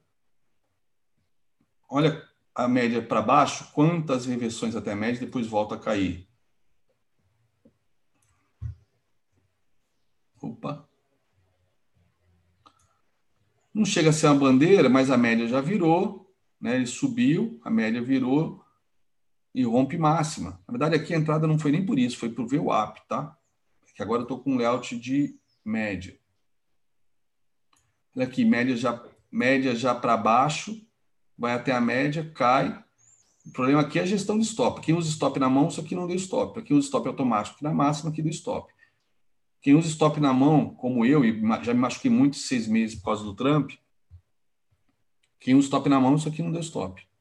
Porque na sequência ele vai, ele chega a acionar o meu stop é, é, na mão, mas que, que não está programado, mas eu espero o candle fechar, ele volta, né? E aí o que eu faço nessa hora? Opa, o que eu faço nessa hora? Bom, não stop, porque ele não fechou acima do meu ponto, e aí eu boto um stop automático aqui nessa máxima. É o que o Mário me ensinou, que chama stop de cutucada. Se você tem um stop na mão, ele vai lá, passa pelo teu stop, mas volta.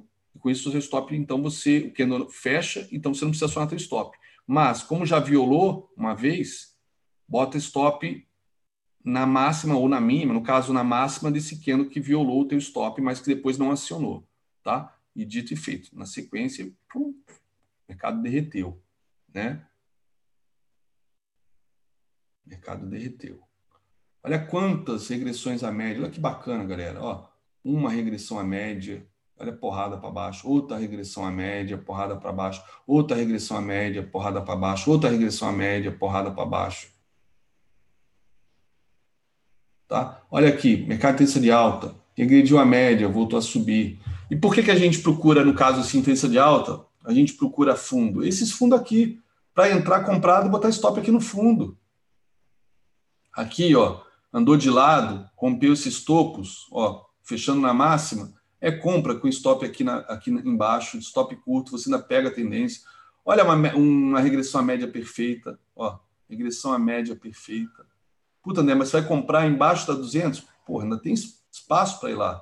E quando chega lá, eu faço treino stop, boto stop perto, na mínima do que do que chegou lá. Que caso bata e volta, e volte, eu vou sair com ganho ainda. Se eu tenho espaço até a média de 200, eu entro nela.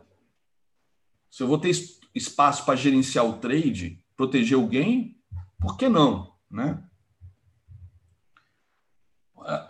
Esse aqui que tá lindo, essas bandeiras todas aqui, né? Olha só, uma depois da outra.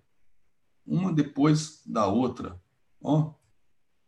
Uma depois da outra, galera. E já no início do pregão, ó. Ó, que coisa mais linda. Logo na sequência, mais uma. Ele rompeu a 200 e veio e foi pro back. Você vendeu com a 200, você vendeu com essa 200, a 200 está para baixo, está dizendo que no gráfico de uma hora está caindo. Então, se no segundo está caindo, no gráfico de uma hora está caindo, por que, que eu não vou vender?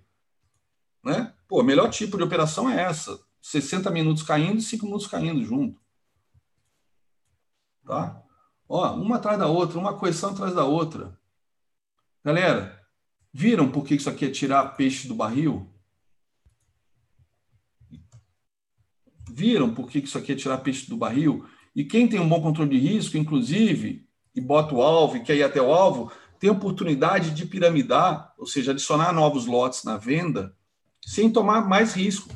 Muitas vezes o, o stop está num ponto tal que o preço médio dos teus lotes está acima do stop, ou seja, se você for estopado, ainda sai com gain. Ainda sai com gain.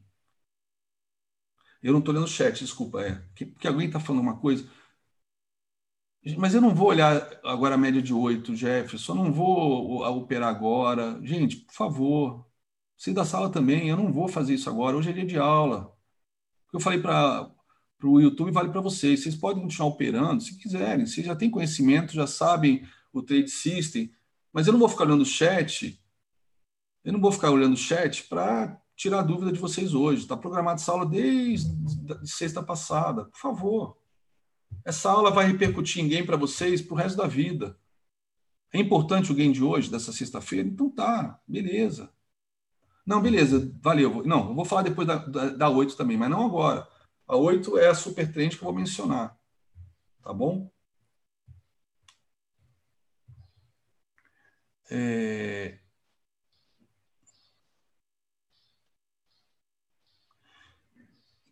Tá funcionando a média de 20 agora? Deixa eu ver. Ela está comentando que é média de 20. Opa, quem ficou em cima da minha imagem? Né? Por enquanto, agora não está na média de 20. Vamos esperar. Vamos esperar. Se é que vai vir, não sei. Como eu falei, galera, eu não sei o que mercado vai fazer agora. Por isso que eu, eu amo operar e ensinar ao mesmo tempo. Porque é um ensino real. Não só porque eu estou botando minha grana em jogo, e grana, e grana alta, e aí tem o lado emocional, aí tem que ter o lado da, também da disciplina, da paciência, ou seja, é um ensino mais completo, porque não é só ensino, ensino de análise técnica. Né? Ah, engolfo de alta, engolfo de baixa, ah, o que é um retângulo, o que é um oco, ah, onde entra no oco, beleza. Isso aí está nos livros, vocês podem estudar, está no YouTube. Aqui é diferente, eu não sei o que o mercado vai fazer. Então, eu só preciso saber o que, que eu vou fazer. Gente, se eu souber o que eu vou fazer, acho que é 90% do, do, do, do trade está ganho. Né? Da nossa vida de trader, do nosso projeto de ser trader, se a gente souber o que a gente vai fazer, 90% do caminho está andado. A questão é a gente saber o que vai fazer e saber certo, né? Estudar, ler os livros, né? Que a galera não quer, não adianta. Então, é... por exemplo, agora, agora eu não vou entrar Deixa eu até ver os pivôs de hoje, tá? Eu gosto muito de operar o pivô do dia. Vamos lá. Pivô do dia, o dia começou aqui, ó. Então eu já tenho um pivôzinho aqui, ó. Deixa eu botar esse topo. Eu não vou, eu, vou, eu vou botar o fibo direto no topo, mas não é o que eu faço operando, né? A galera que está comigo sabe que eu pego o pivô e projeto, mas eu quero ver se ele está trabalhando já no, aqui foi um alvo de algum, de algum pivô. Deixa eu ver. Pronto, botei. Ó. ele foi no alvo de 161,8 dessa consolidação aqui, desse primeiro movimento do dia. E eu até posso considerar, sim, isso aqui um pivô, né? Aqui é um pivô diluído, né? Então, o que seria esse pivô? Esse fundo. Ó. Esse topo. Né? E eu tenho outro fundo mais alto. Ó. Eu tenho esse fundo, esse, esse fundo mais alto aqui, ó. Eu tenho esse fundo mais alto. Aí rompe, é compra. Aqui é compra. Beleza? Quer dizer, não porque perrou. Então, só para efeito didático. Eu não compraria isso né, na hora do eu não sou maluco, não passo bosta no pão de manhã. Mas repare que, tecnicamente, ó, foi no alvo de 161,8. Né? Então, por exemplo, esse pivô já não tem mais alvo. O que, que eu faço? De novo, eu não sei o mercado vai fazer, eu preciso saber o que eu faço. Eu vou esperar uma correção desse mercado, desse movimento. Tipo, ele corrigir, como na maior parte das vezes, se quando é só correção, ele corrige até o nível de 50%, tá? E se voltar a subir, pensar em compra. Mas normalmente, eu ainda eu quando chega aqui, a média já virou. E aí o que eu faço? Ou eu espero ele realmente começar a subir, armar um pivôzinho de alta, nem seja pequeno, ou não faço nada. Uma das coisas que eu falo todo dia, todo dia, toda hora, eu acho que nos vídeos também tem isso, é para ganhar dinheiro nesse mercado, a questão da paciência, que o Jim Rogers comenta tem que ser traduzida de uma maneira assim um pouco mais dura, né? Porque paciência assim solto no ar, de repente, apesar de tá lá um dos maiores traders do mundo falar que tem que ter paciência e esperar o dinheiro estar tá no chão para você ir lá re recolhê-lo, acho que vocês acabam não fazendo isso, que ficam querendo ganhar dinheiro o dia inteiro. Mas então falo de uma maneira até que vai se tornar mais difícil para vocês o conceito de paciência é, vocês vão ter que abrir mão de muita oportunidade para ganhar dinheiro. Vocês, para ganhar dinheiro, vocês vão ter que deixar de ganhar muito dinheiro. Puta, mas como assim? Para ganhar dinheiro, eu tenho que deixar de ganhar, de, de ganhar muito dinheiro. Vocês vão ver uma porrada de movimentos, vão achar alguma coisa que sobe ou desce. Muitas vezes o teu achismo vai se confirmar, vai se confirmar, né? E você falar, pô, podia podia ter ganho 500 pontos aqui. Ah, se eu tivesse entrado com 50 contratos, olha, podia ter ganho tanto. Ah, se eu tivesse arriscado aqui com esse stop curtinho, eu podia ter feito tanto. Bicho, se minha mãe tivesse duas bolas, eu tinha tido dois pais. Não tem que ficar no se eu tivesse entrado, se não sei o quê. Ou você define um trade system super rigoroso e seletivo para só pegar dinheiro no chão, ou algumas vezes você vai pegar dinheiro no chão e, no, e, depois você vai devolver. Vai pegar e vai devolver, vai pegar e vai devolver, e talvez o, o saldo seja negativo. E talvez você nunca consiga operar com a mão pesada, porque igual que você começa a operar com a mão mais pesada, a, paciência vem naturalmente. Por quê? Porque você já, você já percebe que você não vai ter necessidade de entrar no mercado o tempo todo. Pegou 30 mil, pôs no bolso, precisa fazer mais alguma coisa hoje? Aí no, no dia seguinte, peguei mais 20. Preciso fazer mais, alguma, mais alguma coisa hoje? Já são 50 em dois dias. Mas para o mundo, para o mundo de redes sociais, isso parece ser surreal. Isso parece ser surreal. Puta, o cara tá falando de 50 mil em dois dias. Isso não é meu mundo ainda. Parece surreal. Aí você ignora as melhores práticas e volta para a teoria de youtuber, de conta demo. Né? Não, vou te ensinar a ganhar 500 pratas por dia. Meu, 500 pratas por dia? Vai tomar no cu. Ah, mas 500 pratas por dia são 10 mil por mês. É bom para cacete. Eu ganho salário mínimo. Eu sou Uber.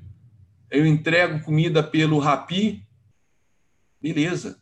Mas se liberta desse, dessa boçalidade, dessa mentalidade de operar para caralho para ganhar 500 reais por dia, catar migalha. Quem cata migalha em porta de igreja, é quem cata migalha, quem come migalha é pomba. A gente quer comer o milharal inteiro, galera. Quem vive de trocado é mendigo. Peraí, André, você está falando 500 reais é trocado? Pelo amor de Deus, eu ganho hoje 2 mil por mês, 500 reais é de para cacete. Ok, caceta, mas se você quer ser trader, você não vai querer ganhar só 10 mil reais por mês, entenda isso. Você vai querer ganhar mais. Que raio de trader é você que quer ganhar só 10 mil reais por Ah, mas 10 mil reais. Aí a galera vem e responde: Ah, mas 10 mil reais para mim eu pago minhas contas, estou super bem, vou ter uma vida maravilhosa. E, realmente, 10 mil reais vai ter uma vida maravilhosa. Mas tenho certeza que, como trader. Não, não é arrogância nenhuma, Fábio. Não é arrogância nenhuma, desculpa. Desculpa, não é arrogância porra nenhuma, cara. Estou falando de, de trader para quem quer ser trader. Desculpa. Não tem porra nenhuma de arrogância nas minhas palavras. Isso é ensinamento. Sabe por quê? Porque quem ganha 10 mil reais vai gastar a porra dos 10 mil reais. Aí uma hora vai ter que ganhar 20 mil. Porque vai gastar os 10 mil reais. Ou quem ganha 10 mil reais, vamos lá, vamos raciocinar. Quem ganha 10 mil reais vai continuar tendo uma vida de quem que ganhava antes de 2 mil e vai guardar os 8 mil para aposentadoria. Vai botar na renda fixa.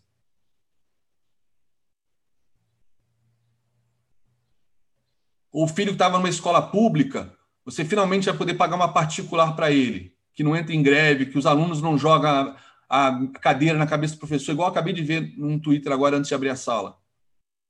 Aí vai botar numa escola particular mais baratinha, custa hoje dois mil reais. Tendo dois filhos, já foi embora quatro mil. Quatro mil. SUS, SUS, plano de saúde razoável, razoável, um plano de saúde bom, por exemplo, com Einstein Fleury, Einstein Fleury, custa 7 mil reais. É o que eu pago. 7 mil reais. Einstein Fleury. Por que, que eu gasto isso? Se agora eu estou morando em São Carlos e eu não vou usar mais Einstein Fleury, não. Fleury é o laboratório. Einstein Sírio. Por quê? Porque eu tenho trauma de câncer. E eu sei que, porra, eu vejo esses políticos vagabundos quando tem câncer indo para o Sírio e os filhos da puta todos saem vivos, né? Impressionante. Impressionante como é que todos eles saem vivos. Deve, deve ter alguma, algum elixir mágico no Sírio que ninguém morre de câncer. Eu tenho, uma, eu tenho um histórico de câncer na família. Então eu quero poder pagar um Einstein e um Sírio, mesmo que eu não use nunca. Eu espero nunca mais usar. Nunca mais usar. Então o que eu falo? Eu não estou ensinando aqui você ganhar 10, 500 reais por dia que eu falo é que agora eu estou ensinando, não é para vocês não ganharem nada. Agora não é hora de ganhar absolutamente nada. Nada. Agora é hora de aprender o certo. O certo. Para um dia poder ganhar 10 mil reais por dia, não por mês. Não 500 reais por dia, mas ganhar 10 mil reais por mês. Por mês. Tá claro isso para vocês? Esse tipo de operação que eu ensino é para quem vai operar pesado um dia. Se você está operando leve hoje e de repente ter que esperar esse tipo de operação, ficar às vezes um dia inteiro sem fazer nada, e quando for operar, operar cinco minis só, ou um mini, como eu falo na sala, você vai ficar frustrado, porque vai ganhar pouco, vai fazer poucas operações. Mas é que tá, se você não aprender a fazer, a operar o melhor modelo, o melhor tipo de operação com mais precisão, com melhor, com melhor chance de, de sucesso, você nunca vai conseguir com a mão pesada, porque com a mão pesada o emocional fica tão pressionado que se, come, se começa a dar errado, fudeu, você perde tudo. Tá claro isso para vocês? E para quem e para quem é... Puta, infelizmente essa aula não tá boa, desculpa, desculpa. Estou tentando fazer meu melhor, beleza? Bom, galera, eu tô quase fechando aqui o YouTube, ficar, ficar só com o chat aqui do, do, do meu time, né? Fala, Zé. O preço acumulou para a chegar, né? O que você estava falando. Oi? Preço? O preço acumulou para É, o preço, ó, o preço, ó, por acaso eu estou falando, não estou nem olhando o gráfico, estou olhando, mas não estou analisando. Olha só, o preço acumulou, foi na média e rompeu. Mas olha só, por exemplo, olha o, esse candle aí, sem volume nenhum. Olha aqui embaixo o volume do Kendo que fez a reversão na média. Com menos volume que o outro. Ó, menos volume que o outro. Eu vou entrar comprado aqui nessa regressão de média? Não. Não. E se subir mil pontos? Foda-se. Foda-se. Eu não vou perder nada. Não vou ganhar nada, mas também não vou perder nada. Puta, André, mas olha só, ó, será que o risco não compensa, né? Você entrar aqui com stop aqui embaixo, ó, são 90 pontos. Ok, mas aonde é o meu alvo nessa entrada? 150 pontos. Pô, será que não compensa 150 versus 90? No Excel compensa. No Excel compensa. Só que eu não sou trader de Excel. Eu não sou trader de Excel. Ah, é 150 para 90, vale a pena tomar esse risco. Eu não vou, eu não vou entrar no alvo de FIBO. Né? Eu não vou entrar no alvo de FIBO agora. Não tem volume, porra. Tá claro. Tá, o mais importante não importa a relação risco-retorno. Não tem volume. Não tem volume. Não tem volume. Não tem volume. O Trade System exige o volume para fazer essa entrada. Não teve. Para me confirmar. Pode até ser que agora esse candle entre um puta volume e depois disso ele subiu uma vaca brava e rompe o topo. Ah, pô, deixei passar essa oportunidade. Não, não deixei. Não encaixava no meu Trade System. Então, o que eu estou falando? Temos que aprender, temos que aprender a não ganhar dinheiro, a não pegar todas as oportunidades. Né? Não ganhar dinheiro, não, a não querer esse tipo de dinheiro. Sabe por quê? Porque se você compra aí e toma stop de 90 pontos, ah, ok, tentei, arrisquei. Valeu pelo risco. Valeu caralho. É uma entrada de merda. E se der gain, beleza, pô, valeu o risco, ó, deu gain. Foda-se, foi uma entrada de merda. Continua sendo uma entrada de merda, mesmo tendo, tendo, tendo dado gain. Às vezes o pessoal me pergunta, André, fiz uma entrada, deu gain. Falo, cara, foi uma entrada de merda, ué. Deu gain, que bom, que bom que não foi logo, mas foi entrada de merda. Por que, que eu tenho que falar isso? Porque a entrada de merda, para quem vai operar com a mão pesada, um dia vai te fuder. E fazer entrada de merda, você não vai ganhar consistência. Então você tem que fazer as entradas de livro. De livro. Tem que fazer uma entrada de livro. Ou seja, regra número 3, se o teu trade system der sinal, você entra sem hesitar. O trade system deu sinal aí? Não. Ele fez a primeira, fez uma coisa que é importante para esse tipo de entrada, que é regrediu a média. Depois fez a outra, que é a reversão. Então, às vezes o pessoal fala, André, posso, se bater na média eu já posso comprar? Eu falei, não, bater na média é tá fazendo a regressão. Tem que ter a reversão. E aí sim os candlesticks me ajudam. Beleza, esse aí fez a regressão. Fez um piercing line na média, lindo. Mas não teve volume. Não teve volume. Então, eu descarto esse trade. Eu perco essa oportunidade, entre aspas. Eu não estou perdendo nada. Eu estou deixando, eu estou protegendo o capital. Regra número dois, proteja o seu capital. Regra número três, entre no trade system se der sinal. Tá claro isso para vocês? Cara, isso de não operar é o mais difícil para eu ensinar na sala. É o mais difícil. Que todo mundo quer operar. Todo mundo quer ganhar dinheiro. Todo mundo quer comprar e vender o tempo todo, sem parar. Todo mundo quer ficar dentro do mercado o tempo todo, porque olha para o gráfico e faz aquelas contas mentais do tipo, puta, se eu tivesse comprado aqui, ó, tinha feito 300 pontos. Olha, se eu tivesse virado a mão aqui, eu, aí nessa correção tinha feito mais 200. Ó, quando bateu aqui nesse ponto, se eu tivesse arriscado essa compra, pô, era 400 pontos. Ó, já estaria ganhando 900 só, só hoje, só agora, na, na, na primeira uma hora e meia de pregão. Já estaria com 900 pontos no bolso. Meu, que porra de contabilidade é essa? É porque é natural, a gente está olhando para o gráfico do passado e está vendo, entre aspas, o que eu chamo de trade de onça morta. É muito fácil caçar uma onça morta, galera. Quero ver vocês saírem daqui, irem até o Amazonas, né? Entrar mata dentro sozinho, sozinho, com uma espingarda, né, passar lá um mês sozinho caçando onça, dormindo no escuro, caranguejeira, cobra, formiga que devora a gente, tudo mais, caçando onça.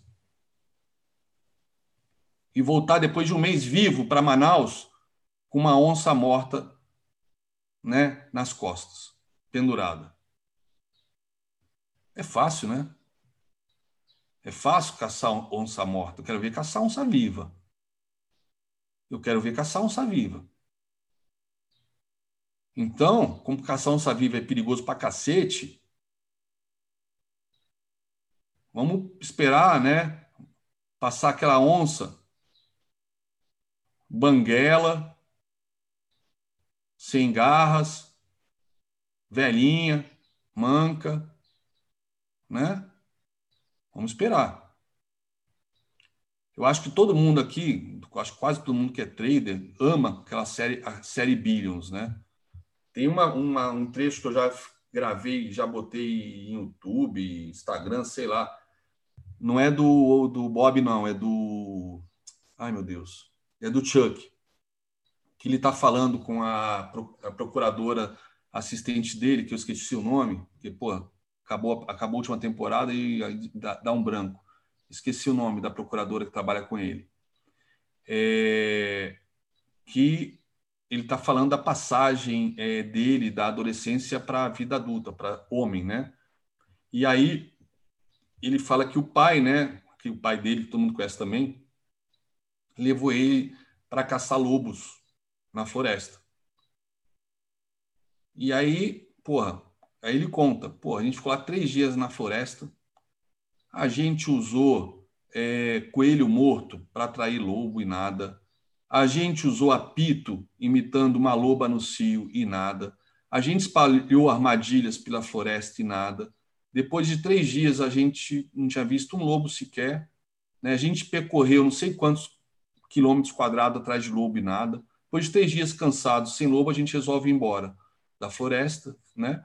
E aí, voltando da floresta, a gente encontra um velhinho com um lobo morto. Um senhor né, velho com um lobo morto. E aí a gente perguntou para ele qual foi o segredo, porque a gente ficou lá três dias, né? Apito, coelho sangrando, é, andamos de um lado para o outro, espalhamos uma armadilha e nada de, de ver um lobo. Qual é o segredo, seu segredo para ter conseguido pegar um lobo?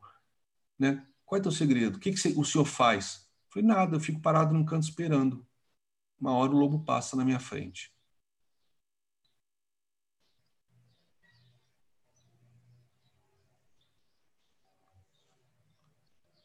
Entenderam, galera? A, história, o poder dessa história? Ah, era é Kate, isso mesmo, Renato, a Kate. Entenderam é, a importância dessa história? O exemplo de como é importante a gente esperar o lobo passar para matar o lobo?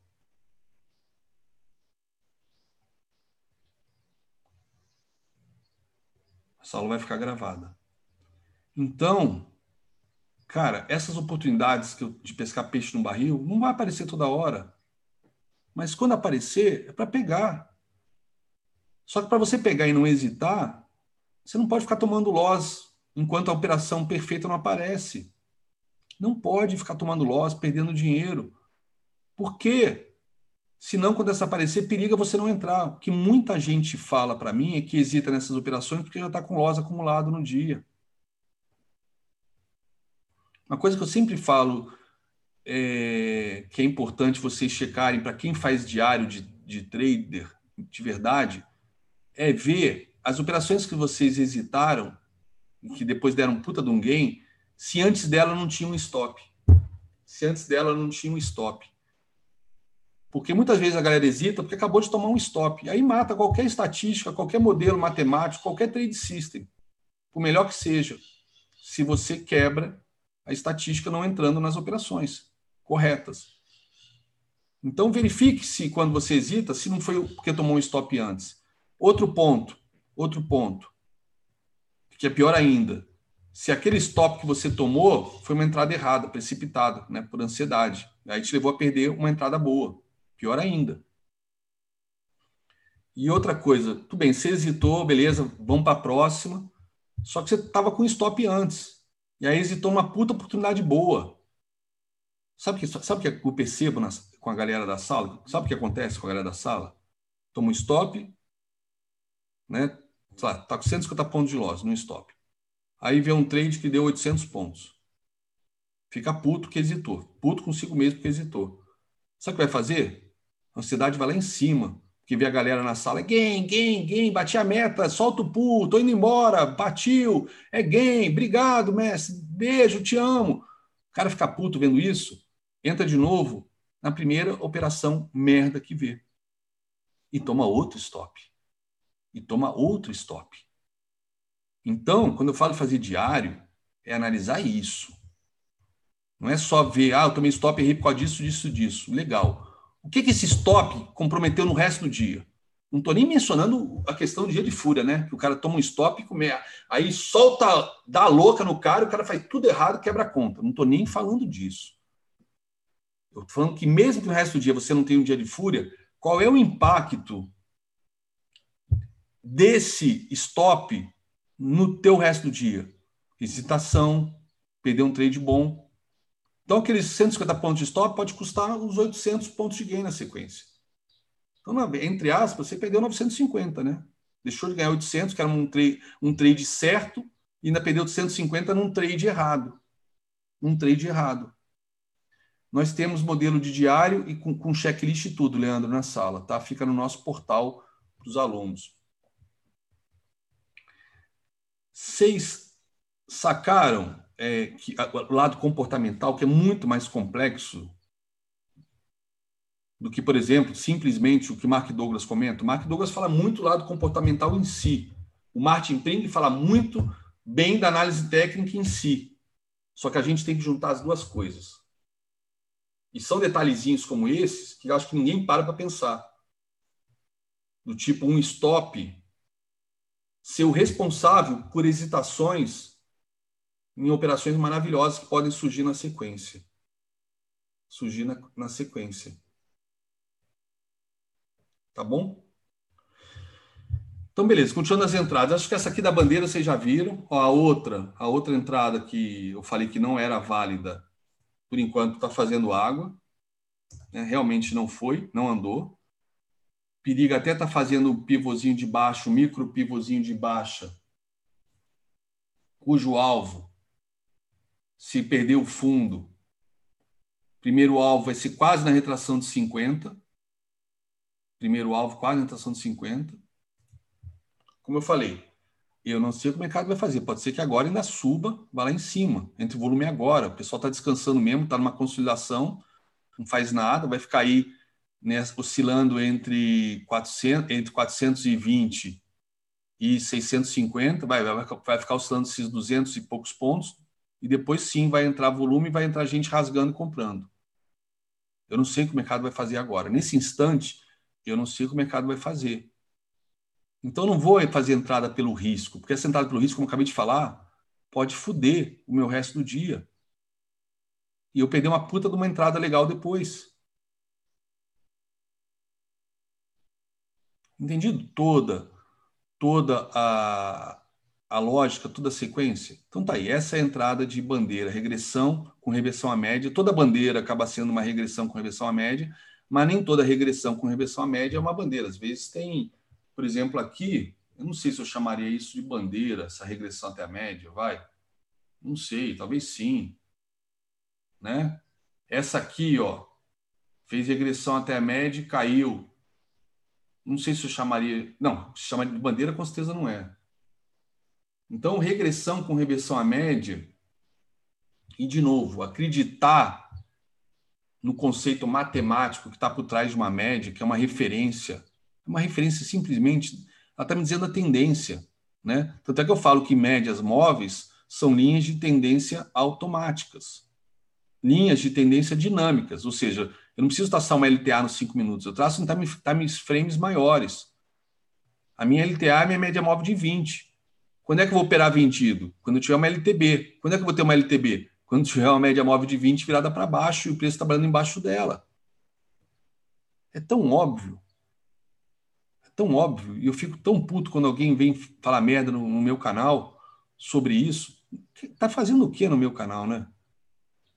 Então, isso é tudo é, é, é errado, né?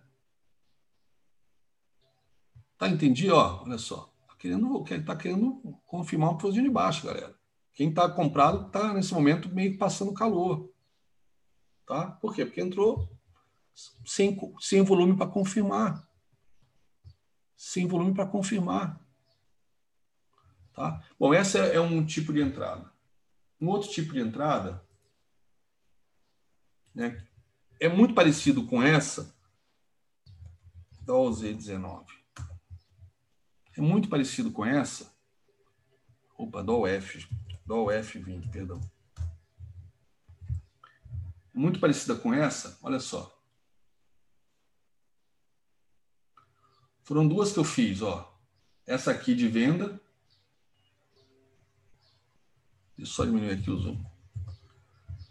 Essa aqui de venda, tá? Que não tá nem tão claro assim, mas depois no final do dia deu essa aqui de compra. Então vamos, vamos se atentar a esta aqui. Esta aqui. Inclusive foi um dia que eu comecei tomando dois stops aqui. Tá? E essa aqui também. Vamos lá. Olha só, olha só essa compra aqui. Por que, que eu fiz essa compra do dólar aqui? Pô, a média 45 graus indo de boa, mercado subiu com muita força, né? Puta, por que, você não comprou aqui? Falei, porque eu não sei o que o mercado vai fazer, eu só sei o que eu vou fazer. Ele podia corrigir, como podia subir mais 20 pontos para cima. Eu não sei o que vai fazer, eu tenho que saber o que eu faço. Vou comprar e vou botar stop aonde? Ah, bota na mínima desse candle, barra elefante, Sim, mas já é a segunda. E aí, se ele vier aqui na média, fazer uma bandeirinha até aqui, ó. Ó, se fizer uma bandeirinha até aqui, pronto, pegou meu stop. Então, eu, de novo, para a gente fazer uma entrada, vocês têm que é, ter claramente, antes de entrar, três coisas. Se não tiver uma delas, fudeu. E a galera, às vezes, só tem uma das três coisas, que é a entrada. Então, é foda, né? Puta, mas se eu tô tal posição, onde eu stop? Ah, não fode, né? Isso não é coisa de profissional. Já tinha que saber onde era o stop antes de entrar.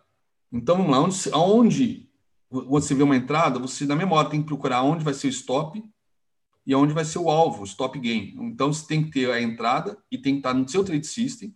Aí tem que ter um stop loss que tem que estar dentro do seu trade system. Você não pode fazer uma entrada porque você quer por ganância, por desespero e botar um stop errado, que não é o stop técnico, stop padrão, só para poder proteger melhor e você não ficar de fora. Não tem essa, ah, vou ficar de fora. Você tem que ficar de fora da maioria dos, das, das oportunidades que o mercado mostra. Que, que se quer um dia operar pesado ganhar consistência e ficar e estar tá nessa daqui a 10 anos ainda. Então, você tem que saber aonde é o stop e aonde é o alvo para ver se compensa tudo. Não é nem questão de RP, stop gain, stop loss, mas realmente o trade tem espaço para se desenvolver. Claro que isso afeta a questão do, do RP, né? Do, é, é, do risco retorno. RP não, é do risco com. com é, com, com PNL é que pessoal, esqueci qual, qual é a sigla, estou ficando gaga. É, mas a relação risco-retorno, tá? Então tá aqui. Que entrada foi essa que eu fiz aqui, que é de livre, mega hiper poderosa, raramente dá loss. A probabilidade de acerto é enorme é, é, tipo a bandeira, só que não é uma bandeira, ela tem um nome específico. Eu poderia até dizer que é uma bandeira, mas isso aqui não é uma bandeira, isso aqui tem um nome específico. Isso aqui se chama Power Breakout. Ou seja, o mercado está tão forte que ele não corrige até a média. Ele não corrige até a média, ele fica andando de lado. E aí, uma hora, a média vai subindo, né? Porque a cada novo candle eu vou descartando esse, no cálculo da média esses candles que tava com, cujo fechamento está lá embaixo. Eu vou descartando, com isso a média eh, vai subindo, por isso que ela se chama móvel ela vai subindo, o preço encosta na média e sobe de paulada. Sobe de paulada. Tá? Sobe de paulada. Isso chama Power Breakout. Power Breakout. Vamos ver se a gente tem alguns outros. Isso aqui foi um Power Breakout meio forçado, mas foi um Power Breakout para baixo. Ó, a bandeira aqui no dólar. Ó, deixa eu ver, o Power Breakout. Ó, regressão com reversão à média aqui no dólar. Hum, não foi na média, meio que Power Breakout, não sei se não, não vou forçar a barra para dizer que é Power Breakout. Vamos ver, achar um de livro mesmo. Ó, já acabou o, o Dolph. Vou botar o Dolph aqui então. Vamos ver. Olha quantas regressões à média o dólar deu aqui. Regressão à média, rompeu. Deixa eu ver, Power Breakout. Aqui o Power Breakout. Olha aqui o Power Breakout no dólar. Olha que bacana. Olha aqui Power Breakout no dólar. Olha aqui Power Breakout no dólar, que lindo. E olha a porrada que vai. Power Breakout, galera, é um sinal tão forte, você não precisa esperar o cano fechar. Ele rompeu, rompeu o topo, já tem a ordem de compra lá, tá? Já tem a ordem de compra lá. Você não espera o cano fechar? Não. Mas, pô, você tem que esperar ele vir na média, pelo amor de Deus, faz a coisa certa. Espera ele vir até a média para entrar. Espera bater na média, né? Para aí sim colocar essa ordem lá em cima. Não bota antes, para não passar calor ou tomar stop bobeira. Encostou na média, aí você bota uma ordem lá em cima, porque se romper agora a partir dessa média, ou seja, o preço não corrigiu, o mercado está só descansando. Pode estar tá distribuindo para vender? Pode.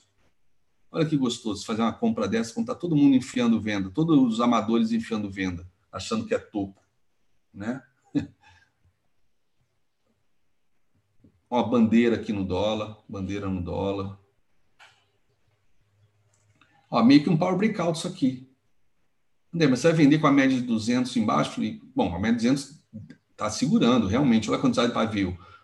Mas olha, ela está inclinada para baixo, né? E outra coisa, ela flat significa, mais ou menos flat, significa que nos 60 minutos o mercado está andando de lado.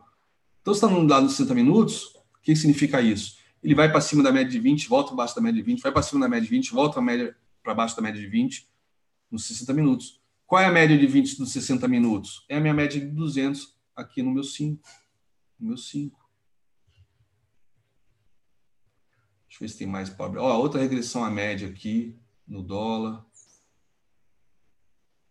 Aqui mesmo power breakout, ó. Não foi até a média.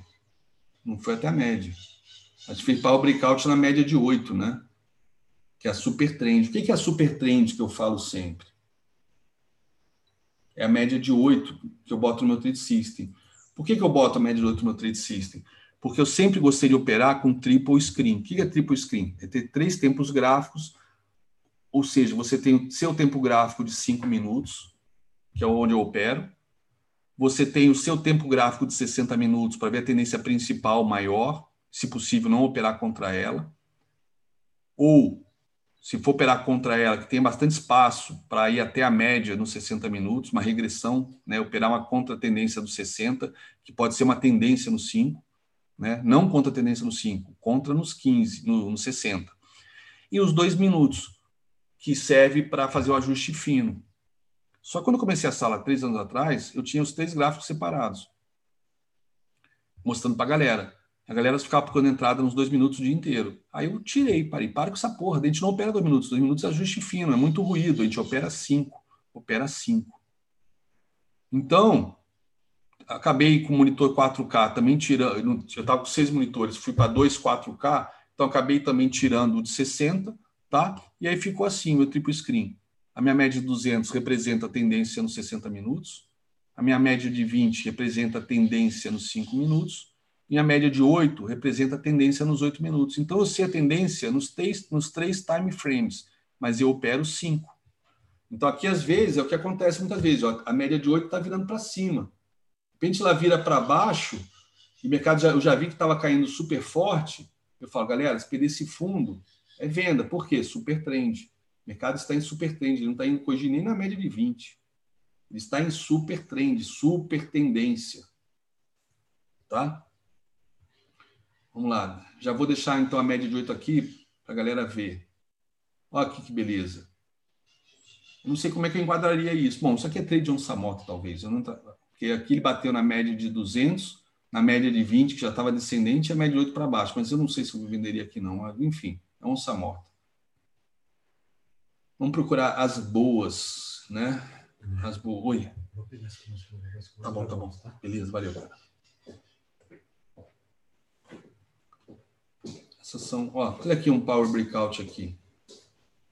Power breakout aqui, quando perdeu o fundo aqui no dólar né? meio, meio, meio zoado, mas tudo bem, você não é obrigado a operar todas as entradas. A hora que você aprender a fazer a entrada perfeita mesmo, você vai ver que duas, três por semana, você vai ganhar uma puta grana.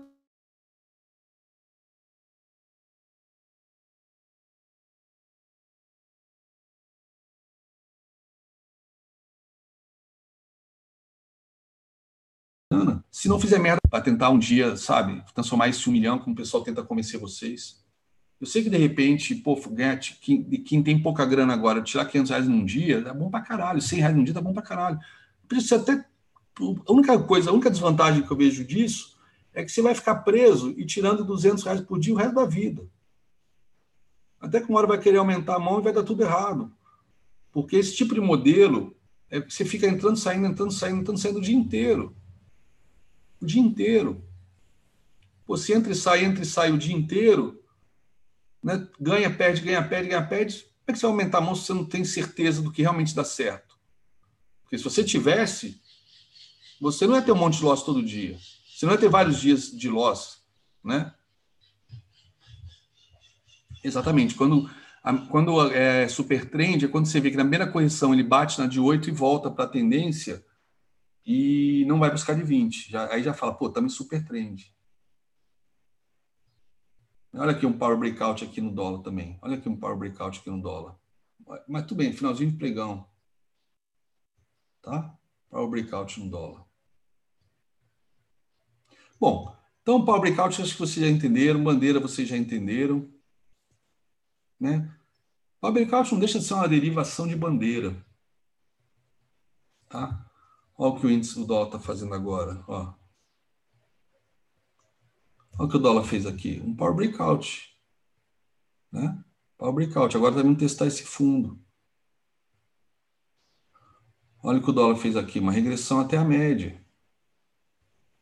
Né? Mas, de novo, é o trade onça morta. O que eu faço todo dia é ao vivo. Eu sou seletivo, então, para. Né? Esses dias, foda, né? Muita gente nova entrando. E o pessoal fica reclamando às vezes, pô, por que você não deu entrada ali que subiu? Eu falei, porque não estava no trade system, porra. Ou então com o Zé, porque o Zé fala, é, não, aqui se romper, abre entrada, mas eu não vou.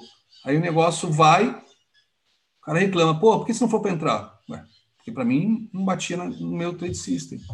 Ou então o cara fala aqui, abre uma entrada, mas eu não vou. Por causa disso, disso disso. Aí o cara é teimoso, entra, toma loss, fala, pô, mas se for abrir uma entrada. Eu falei, é, tecnicamente até abre uma entrada, mas não é uma entrada boa. Por isso que eu não vou. Quer dizer, a gente agora, esses dias, eu estava conversando com o Zé ontem até tarde, eu tenho que ver que vocabulário a gente vai ter que usar para essa galera que está chegando essa semana, semana que vem de Black Friday, desesperados. Desesperado. Desesperados. É, uma, é impressionante. É impressionante o desespero. Ou seja, a galera está entrando não quer saber de aprender, quer ganhar dinheiro. Continua achando que eu e o Zé somos caixa eletrônico. Caixa eletrônico. Né? Bizarro isso. Ontem rolou um puto estresse com a disso, porque o Zé estava na sala, estava aprendendo isso do meu lado, do lado dele. Pô, fiz minha grana, aí vim comentar com a galera que era uma entrada de livro, eu achava legal mostrar a importância de esperar uma bandeira, e, pô, foi uma bandeira que eu entrei, sei lá, 5 horas da tarde. O nego ficou puto, por que você não passou, não passou operação aqui? Pô, não tem nada para comemorar, porque só você ganhou. Que porra é essa, meu? Só eu ganhei. Daí que só eu ganhei. O Zé estava operando dólar com a galera e estava operando isso no meu canto. A sala não é de call, galera. A sala não é de call. Sala é de formação de traders. Para formar o, a, os futuros traders brasileiros, pessoa física. Os futuros maiores e melhores traders do, do Brasil. Do Brasil. É isso que é meu objetivo. Mudar a vida dessa galera. Não é passar call. É me preocupar não com o trade que está acontecendo agora mas preocupar, ensinar corretamente, para daqui a 10 anos a gente está aqui no mesmo lugar fazendo a mesma coisa. Não semana que vem já está procurando emprego porque quebrou. que quebrou? Escroto isso. Day trade, como eu falei ontem, talvez dos, das, das, várias modalidades de trading, talvez tenha é a que eu acho que exige mais planejamento de longo prazo. Day trade, olha só que doideira. Day trade, que todo mundo acha que né, a sua vida é passada nos cinco minutos e acabou. Não. Pensa em cinco anos. Onde você vai estar daqui a cinco anos? Você vai estar querendo fazer. Se não quer ser day trade daqui a cinco anos, então faz a coisa certa, senão você não vai chegar até cinco anos. outra coisa, você quer daqui a cinco anos estar fazendo day trade, mas ainda vivendo na corda bamba, ganha 500 reais num dia, perde no outro, etc. Ou já quer finalmente, depois de cinco anos, tá tendo uma vida, dando uma vida boa para sua família? Indo para Disney todo ano e foda-se se o dólar tá caro ou não tá, você pode pagar. Né? Então tá aqui, olha, olha outra bandeira no dólar que linda. Aqui não foi super trend, olha, ele foi lá na média, olha que coisa linda. Olha que coisa linda. Olha aqui, agora já é meio super trend, ó. Não, sem volume, então não dá, não dá, não dá, não dá trade, não dá trade. Sem volume não dá trade. Com a paciência, mesmo que vá, tá sem volume. Pode ser por causa do horário, horário de almoço, né? Deixa eu ver o índice de novo aqui. Olha o índice. Quem foi teimoso, quem foi teimoso e entrou sem volume, foi estopado. Quem entrou sem volume foi estopado. Ah, mas esse pavio foi maldade. Não interessa, você foi estopado. Não terceiriza a culpa. Eu não sei o que foi esse pavio, essa sombra, dedo gordo, não sei se é tweet do Trump. Você foi estopado. Se foi pap stop, maldade do, de Nego Grande, você foi estopado. Se tivesse seguido a regra, você não teria sido estopado. Poderia ir lá no alvo? Poderia. Pô, 150 pontos que você teria deixado passar. Beleza. Se você ficar se torturando, se flagelando com a de 150 pontos, você nunca vai ser um trader profissional pro resto da vida. O volume eu vejo aqui embaixo. Ó. Quando eu falei que estava fazendo regressão à média, mas não tinha volume para entrar, foi aqui embaixo. Ó. Deixa eu botar cruz. Foi aqui embaixo, ó. olha só. Esse candle verde. Um lindo padrão de reversão, depois de uma regressão à média, um piece line de livro, de livro, com regressão à média. Pô, mas olha, olha o volume dessa merda. Olha o volume do candle preto e olha o volume do, do verde. Olha o anterior, o preto, olha o verde. Olha a, despropor a, a desproporcionalidade de volume. Um tem quase o dobro. Você vai comprar isso aí? Não vai comprar. Ah, a câmera está na frente do gráfico. Deixa eu tirar a câmera então. Vocês já me viram minha cara demais. Tá? Então tá aqui de novo. Deixa eu repetir aqui porque estava com a câmera. Ó, olha onde eu vejo. Bom, olha onde eu vejo volume. Vamos lá. Olha só esse candle. Um PC line de livro, ou seja, o mercado fez a regressão, o preço fez a regressão à média. Ó, PC9 de livro, mas olha o volume aqui embaixo, olha aqui embaixo o volume. Olha o volume aqui embaixo, olha que ridículo. Que ridículo. Não tem força compradora. Ah, mas é um PC9, foda-se que é um PC9. Até os anos 90, ninguém sabia o que era PC9. Não existia chique no, no, no Ocidente, só no Japão. Era só gráfico de barra até os anos 90. Steven que trouxe os candlesticks criado por Muniriza Roma no século XVIII para o Ocidente. E que eu, que eu acho que, inclusive, foi. Pô, eu amo Ken Chique, mas eu acho que para essa galera, galera, galera novinha aí, só quer caçar, só quer operar estrela cadente e martelo, é um desastre, né? Esquecem totalmente do contexto.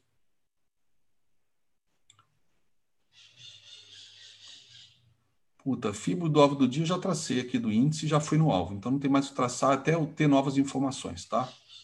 O alvo do dia no índice já foi, então não tem que fazer mais. Eu vou esperar um outro movimento, um pivô de alta, um pivô de baixa para traçar. O de baixa também já foi traçado. Caso o mercado entre tendência de baixa, teria esse primeiro alvo, tá? Mas só se a minha média ficar vermelha, só se eu tiver um pivô de baixa, né? Só se eu tiver um pivô de baixa. O alvo de 100% é perto da retração de 61, perto da cabeça desse primeiro pivô. Tá? Pivô meio zoado por conta do perru, mas dá para considerar um pivô. Tanto dá que foi lá no alvo e parou, né? Foi lá no alvo e parou. Apesar de eu ter botado esse pivô já depois do gráfico pronto. Né? Aí é onça morta. Tá? É... Ó, a média tá virando, tá vendo? Tá virando, tá começando. Então, isso aqui é uma bandeira de baixa que eu às vezes opero com a galera por quê? Porque se eu, eu espero uma média bater nela e subir e não sobe, fica se fregando nela, eu já falo, hum, isso aqui pode ser uma bandeirinha de baixa justamente em cima da média para depois perder e a média virar, dito e feito. E tem também o, que corrobora para eu poder acreditar nessa possibilidade é que já bateu no alvo de FIBO, né? Então, Mas esse não é um padrão tão fácil, não vale a pena vocês procurarem esse. Esse é, aquele, é um daqueles padrões que eu também opero, mas a ideia aqui é pegar peixe no barril. Então, é só operar vendido quando a média estiver vermelha. Tá? Meu Waze estiver dizendo que o preço vai para baixo. Então, esse é a bandeira e o Power Breakout são padrões importantes. Como é que se opera pivô de alta e pivô de baixo? O que é pivô de alta e pivô de baixo? O que é pivô primeiro? O mercado, então, vem fazendo topos e fundos descendentes, em tendência de baixa. Aí, de repente, ele começa a subir.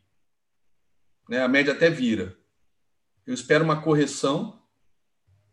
Aí faz um fundo, volta a subir. Ele armou um pivô de alta. Rompeu o topo, pivô de alta confirmado, tá? Deixa eu ver se eu pego um exemplo aqui. De um dia que a tendência virou. Deixa eu ver se é esse aqui. Deixa eu ver o, o, o horário. aqui a tendência virou. Ó, o mercado vinha em tendência de baixa, ó, abriu às 9 horas, ó abriu aqui em cima, vinha tendência de baixa, topos e fundos descendentes, média vermelha. Aí tinha um triângulo, a gente operou aqui, a gente operou compra aqui, tá?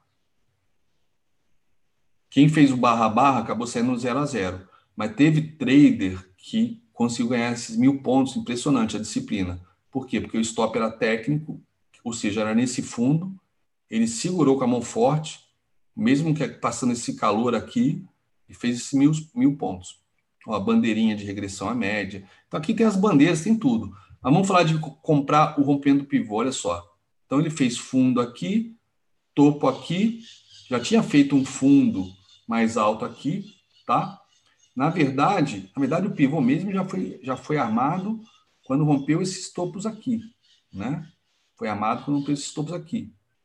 E aí corrigiu. Como é que a gente operaria um pivô, por exemplo? Rompeu o pivô com essa barra, essa barra elefante. Rompeu esse topo aqui pra, mais esse topo aqui mais alto que o anterior, né? Rompeu esse topo. Esse, esse aqui é o primeiro topo mais alto que o anterior. Aí fez um fundo mais baixo que o anterior. Beleza. Rompeu. Puta, não vou comprar aqui com stop aqui embaixo. É muito caro. Então o que, que você faz? Você espera um pullback ou compra um gift. Tá? Ou seja, o mercado veio, faz um pullback na cabeça do pivô, ó, e depois volta a subir aqui da entrada. Mas a média é de 200, está apontando para cima. Ela não é uma, um, uma resistência tão forte. Ela até pode segurar, como até segurou aqui, mas a, a expectativa que eu tenho é de romper essa média de 200. Então, deixa eu pegar um sinal mais bacana. Olha que linda essa bandeira aqui. Olha essas vendas aqui que a gente fez aqui na sala. Cadê? Passou? Cadê? Então, eu vi marcação aqui, os triângulozinhos. Enfim, às vezes eu, eu como eu troco de, de, de, o Zé me assume no meu lugar, às vezes ele apaga algumas coisas.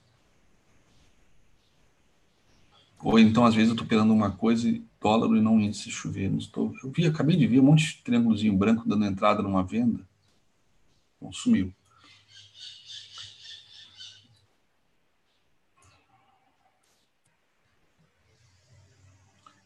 Quando tiver virada de tendência, como é que a gente poderia operar um pivô? Um pivôzinho bem legal de reversão, operando depois no pullback. Bom, deixa eu vou resumir para vocês. Muitas vezes a gente vê uma figura enorme de grande, aí rompe essa figura.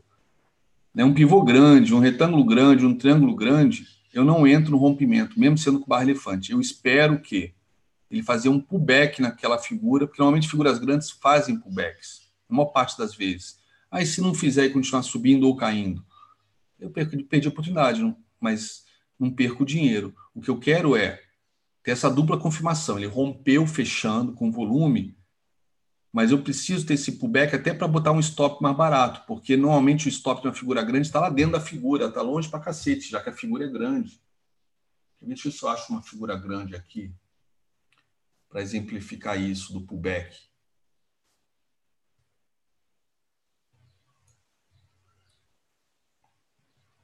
Uma figura realmente grande.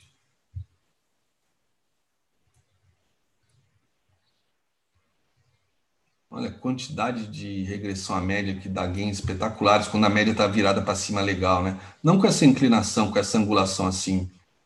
Pô, esse tipo de angulação é que a tendência já acabou.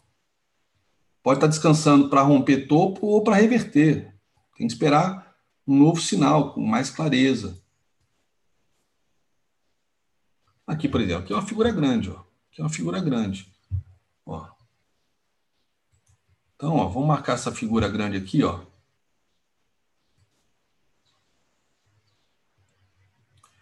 Marcar essa figura grande. Ó. Se eu compro aqui esse rompimento, olha o calor que eu estava passando. Então eu espero pullback. Ó. Ele não fez pullback, ele entrou para dentro de novo. Rompeu outra vez. Pô, vou comprar, até posso comprar e botar stop nesse fundo. Mas rompeu, vou esperar o pullback. Ó, aí ele fez uma coisa parecida ser pullback, eu compro se romper a máxima. Puta, voltou para dentro de novo. Ó. Ainda bem que eu não comprei, esperei romper a máxima. Né? O pullback eu espero romper a máxima. Depois ele vai de novo para cima, fica brigando aqui. Aqui, ó, rompendo essa máxima, me dá compra. Por quê? Porque confirmou o movimento da figura, fez pullback e rompeu esse topo. E aí é compra de passagem. É compra de passagem. Eu posso botar a ordem de start aqui em cima. Ó, olha a hora que passou, como é que foi. Na verdade, ele foi antes, né? Foi, voltou, aí dá aquela insegurança. Putz, será que eu acertei a entrada? Cara, siga o plano. Você comprou aqui, stop aqui embaixo nesses fundos.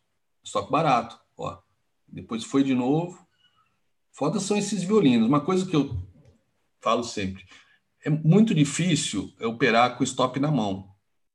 Porque stop na mão tem que ter muita disciplina. Mas quem usa stop na mão, ao invés de botar ele automático, evita uma porrada de stops desnecessários, de violinos e fica no trade. A única desvantagem, no meu caso, especialmente esse semestre, tem sido o Trump. Trump me machucou bastante por conta de usar stop na mão. Machucou bastante. Aí eu até falei, pô, tenho que ter um stop de pânico bem longe do que seria meu stop técnico para se der uma merda. Né? Meu stop é, sei lá, 180 pontos. Botar um stop, sei lá, de 300, vai. E aí, se der merda, porra, sai com 300 pontos de stop, não com mil, né? Não com mil. Mas eu, o stop de pânico eu esqueço, porque não é uma coisa que eu sou habituado a fazer, eu acabo esquecendo. Então, aqui uma figura legal com pullback. Tem figuras que dão pullback de primeira, né? Rompe e dá pullback. Deixa eu ver se eu acho alguma. Deixa eu botar o Indfood.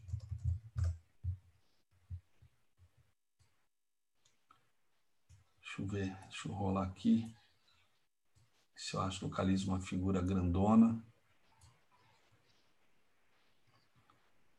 Acho que essa foi a que eu mostrei ainda há pouco, né? Essa acho que foi a que eu mostrei ainda há pouco. Não foi não, não foi não. Deixa eu tirar só a média de 8 aqui para não atrapalhar.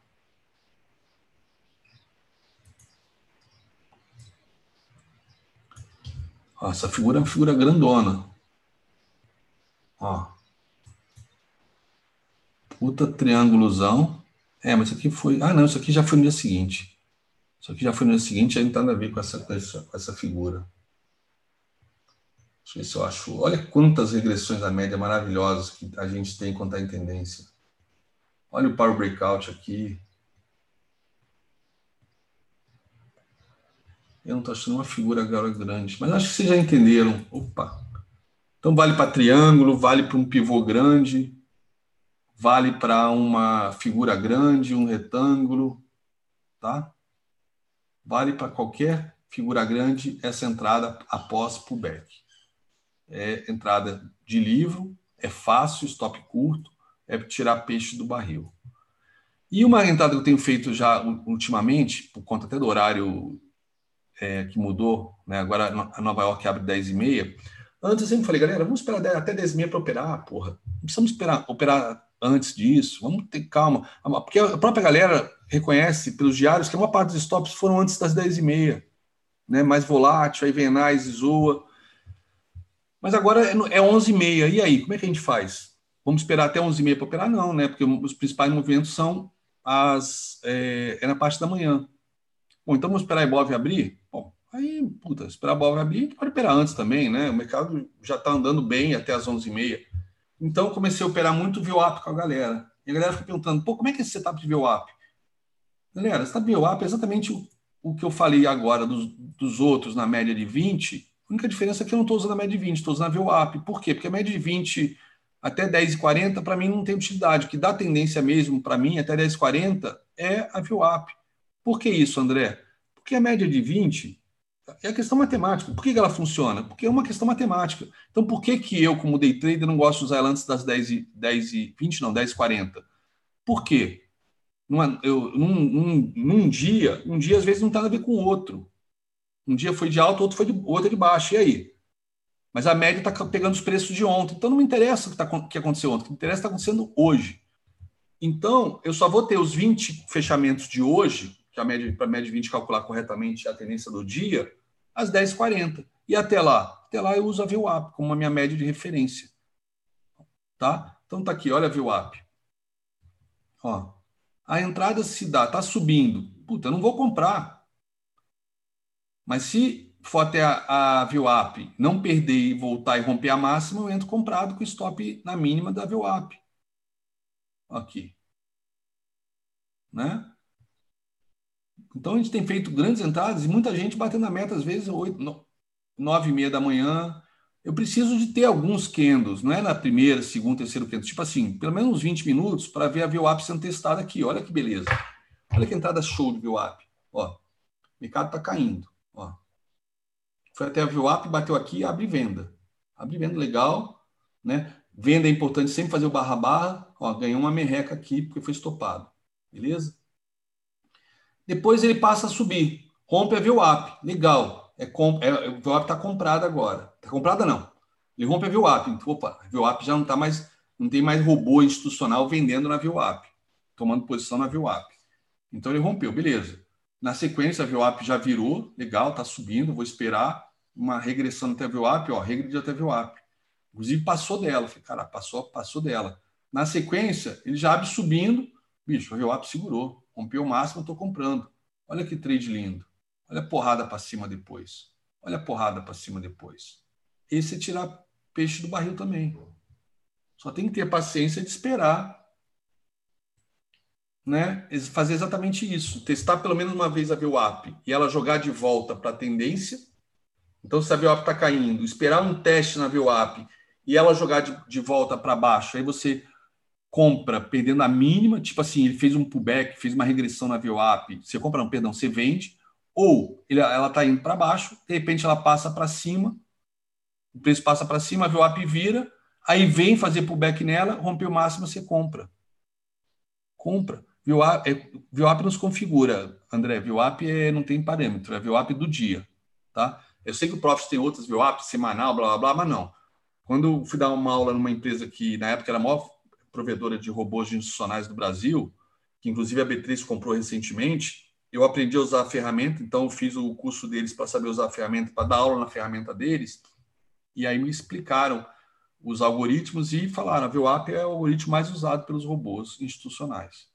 Né? Porque o cara fala, ó, eu quero que você tome posição hoje de mil contratos. Fala para o broker. O broker dele não vai comprar ou vender mil contratos uma vez só. Então ele vai lançando ordens ao longo do dia, o bota um robô para fazer isso. E a melhor maneira para se posicionar é perto da VWAP, né, onde está o preço médio do mercado.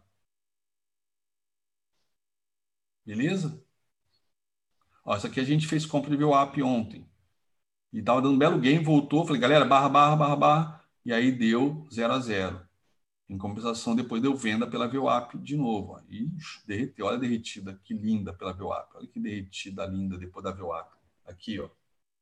Olha que derretida linda. Isso aqui acho que a gente fez ontem, né, galera? Ou vocês fizeram, a maior parte da galera fez. Quase todo mundo fez. Então, esse é também um modelo de pescar peixe no barril. Galera, eu acho que eu poderia passar mais outras coisas para vocês. Só que eu estou muito. Deixa eu botar o vídeo de novo falar com vocês.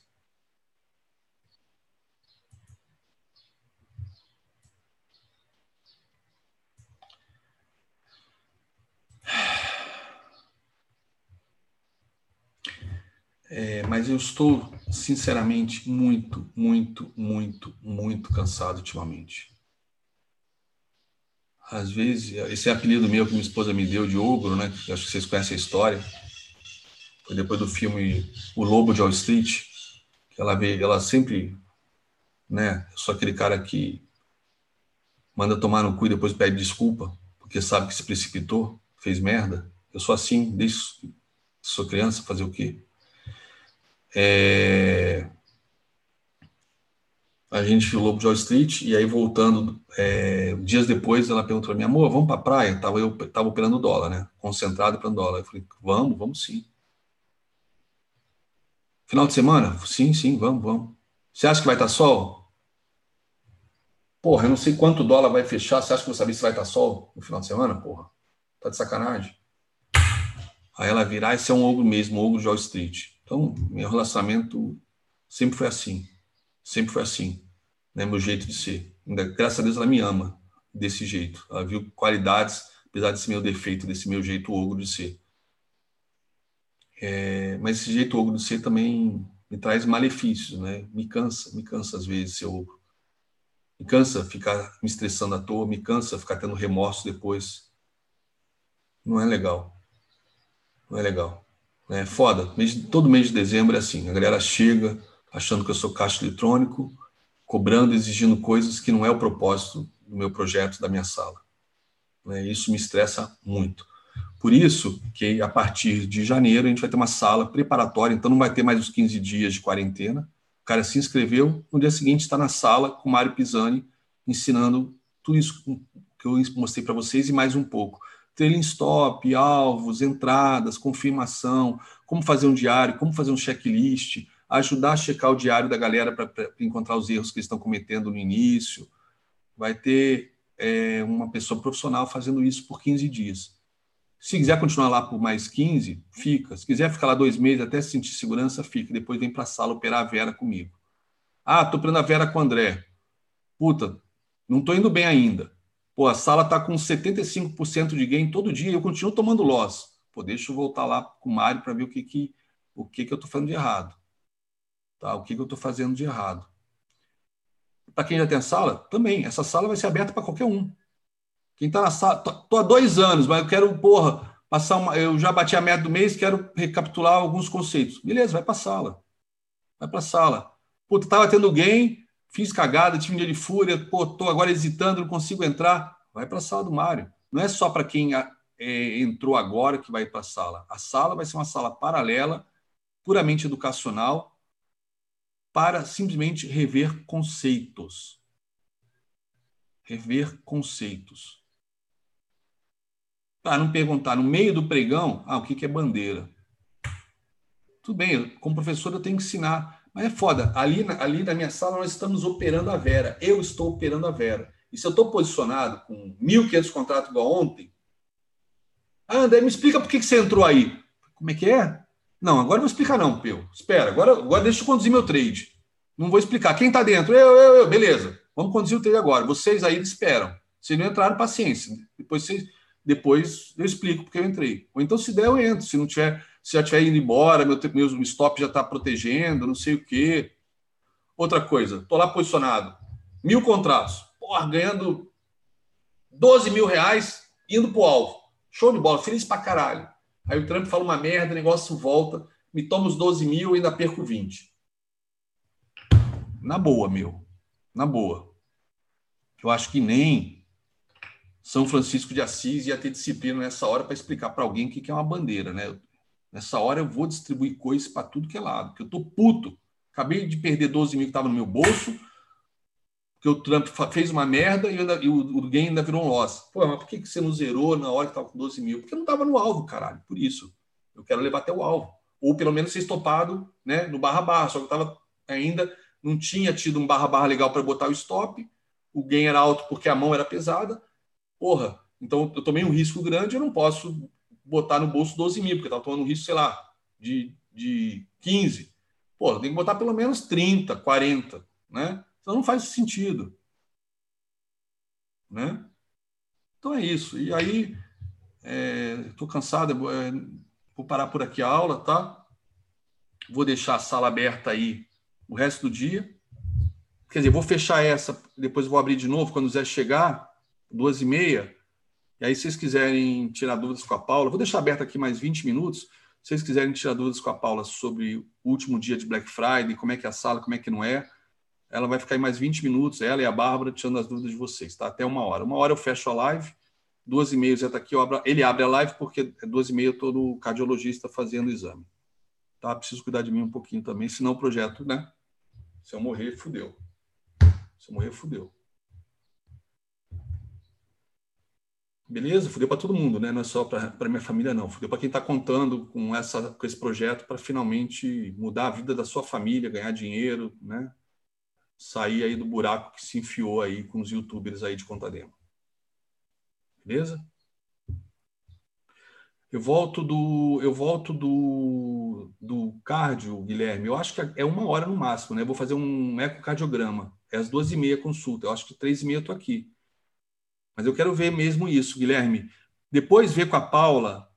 É, depois pega meu, meu WhatsApp com a Paula, porque se a gente não conseguir ver hoje, durante o final de semana, se você nos incomodar, eu vou te, vou te perturbar, porque eu quero muito juntar o layout VWAP com o Tabajara num só. Acho que vai ficar pica demais. Tá bom? É, galera, é isso. Desculpa. É aquela história. Eu mando primeiro tomar no cu e depois peço desculpa. Mas desculpa meu jeito de ser, vai. Puta, eu não quero obrigar, eu não quero obrigar ninguém a me aceitar do jeito que eu sou. Eu sei que para muita gente o meu jeito de ser é inaceitável. Ninguém, ninguém nasceu para ser, né, doutora Graziella, minha querida esposa, para me aturar desse jeito. Nem todo mundo é assim. Então, só releva aí minha, às vezes as minhas explosões. É o trade-off de estar com um trader de verdade na sala, operando pesado de verdade, tomando tanto risco quanto vocês com seus 10 mini, sou eu com meus com os meus 500 cheios proporcionalmente, eu acho que é o mesmo estresse, mesma, mesma, mesma pressão, né? mesmo calor, né? mesmo calor. E para quem fala que hoje eu faço isso para dar sala, per perdão, gente, é mentira. Eu faço isso há, desde 2010, são nove anos. A sala está três anos, tá? Então vamos parar, vamos parar de de calúnia, de difamação. Vamos parar de terceirizar o fracasso, a frustração de vocês em mim, tá? A menos que realmente seja um maldito de um vendedor de curso estelionatário que opera conta demo e que fica puto com as minhas aulas. Aí realmente aí vai xingar até minha terceira geração por essas aulas que eu dou no YouTube. O que eu posso fazer? Mas estou saindo de férias do YouTube, galera. Estou saindo de férias do YouTube. Se Deus quiser, estou de volta em março, até para eu dar um tempo nessa injeção de saco e meu, e meu YouTube ser desbloqueado, beleza? Continuei na sala com a galera, paramos dia 20, voltamos dia 6. Estou acertando as minhas férias, então, para o dia, acho que 19 de janeiro, ficar 10 dias fora só. Mas nesses 10 dias vai ter trader, vai ter o Mário e o Zé com vocês full time. Então a sala não vai fechar, vai, eles vão estar conduzindo. Zé manda super bem nas análises, nos estudos, tá? O Mário Porra, nem se fala. Olha só, vamos botar o meu gráfico de Tabajara, olha só o, o índice. Olha só o índice. Tá vendo lá aquela regressão à média que eu falei que não podia ser comprada? Índice Z19. Olha aqui. Olha a regressão à média, virou um pivô de baixa. Olha só. Então, agora, justamente este ponto é a cabeça de um pivô que eu acabei de projetar e que o alvo está aqui de 100% no 170, tá? Lembrando que o, a retração de 50 sempre é muito forte, seja FIBO ou não, ou não seja, não interessa o nome, que tipo de regressão é essa, pô, é forte pra caralho no índice, tá? Então, primeiro alvo, ó, 260, um lugar legal para quem está operando mais vários contratos fazer um RP, mas fazer uma proteção barra barra do resto para tentar ver se consegue levar o resto até os 170. Aí virou a tendência. Virou a tendência. Aquele sinal, aquele piercing line aqui foi pegar trouxa e que o volume que dizem que não funciona, que não serve para nada, o volume evitou eu tomar um loss. O volume evitou um loss no meu diário. Volume, o alvo de FIBO, né? Isso tudo evitou um loss no meu diário. Beleza? Ah, a câmera estava em cima. Então, deixa eu botar de novo aqui para o lado. Perdão. Então tá aqui, ó. aquele candle que eu falei que não abria a compra porque não tinha volume, ó, foi esse volumezinho ridículo, né? mas fez a regressão com reversão à média, né? que é o padrão que eu, eu vim ensinar para vocês, mas não tinha volume, então não dá a entrada. Dito e feito, isso aqui é o, a cabeça de um pivô de baixa. O mercado já virou nos cinco minutos, talvez possa vir, inclusive, corrigir até a média de 20 dos 60 que está aqui embaixo. Ou seja, zerar toda a alta do dia. Mas, por enquanto, o que eu tenho de alvo de 100% está aqui, 170. Então, esse é o alvo, para quem está, por exemplo, vendido, por exemplo. Então, chegando aqui, se você acha que pode cair mais, é proteger barra barra. Ou zerar tudo aqui, ou fazer um RP aqui, ou já fazer um RP, inclusive, no primeiro alvo, que é um pouquinho acima. É aqui embaixo. Inclusive, ele vai querendo deixar um padrão famoso de gift. Mas é isso eu já tenho aula gravada, não vou recapitular isso agora não. Tem uma aula só de gift que eu gravei de presente para vocês no Natal do ano retrasado, no dia 24 de dezembro, só procurar. Tá? Não vou repetir porque eu vou estar chovendo no molhado.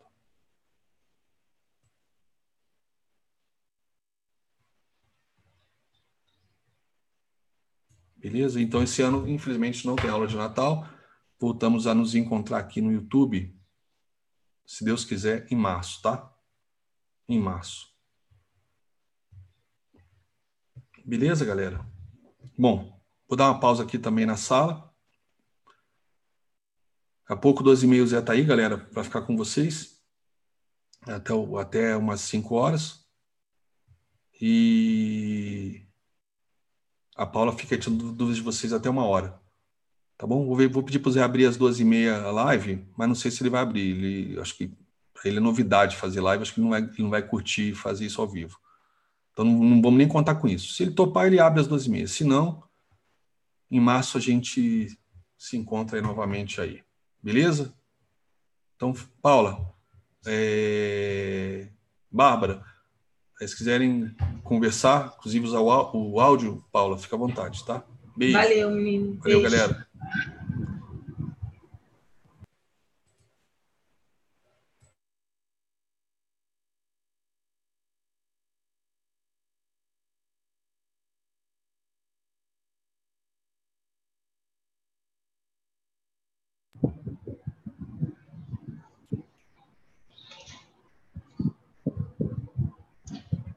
Até dia 20, Bruno. Tá me ouvindo? Estão me ouvindo?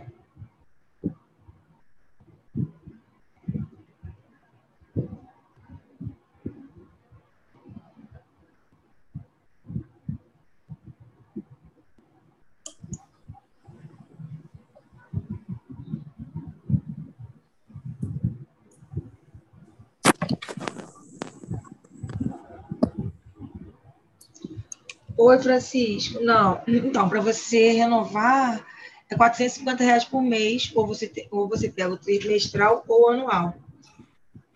Quando é que vence o seu? Você sabe, Francisco? Porque até hoje tem a promoção da Black ainda. Você pode estar renovando para a promoção da Black, dependendo do seu vencimento. Everton, eu não libero acesso ao Zoom. Isso aí é o sistema, vocês têm que aguardar mesmo.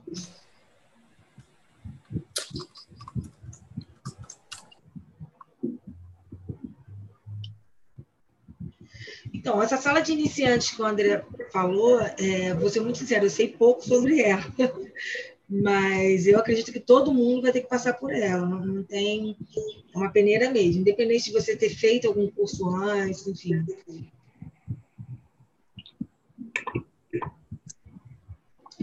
Não tenho, Gabriel Antônio. Paula, está correto. É, a partir de agora, a partir de janeiro, a galera vai passar pela sala por 15 dias, ou seja, assinou acesso liberado no dia seguinte, ou quando o sistema der, e fica 15 dias nessa sala obrigatoriamente. Se quiser ficar 30, dois meses, fica. Né? Mas é 15 dias lá, ou seja, não vai ter mais a quarentena, a quarentena de 15 dias para assistir os vídeos. Então, a pessoa assiste os vídeos quando quiser, à noite, final de semana, e durante os 15 dias fica lá acompanhando o Mário para realmente solidificar o conhecimento. Beleza. Beleza? Beleza. Então, Daniel, é, agora você tem que esperar o e-mail de confirmação e o nosso prazo, de 48 a 72 horas depois do, da confirmação do pagamento pelo PagSeguro. André vai tirar férias do YouTube, da sala ele entra dia 20, se eu não me engano, agora de dezembro, e volta só em janeiro, lá pelo dia 7, eu acho, se não me engano.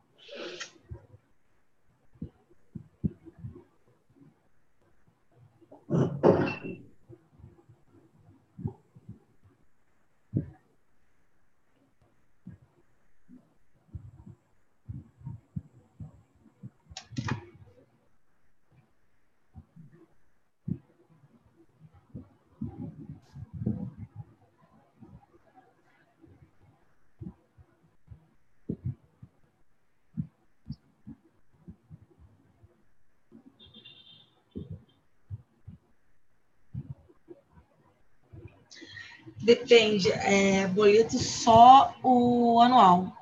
Trimestral e, e a mensalidade é feito depósito em conta.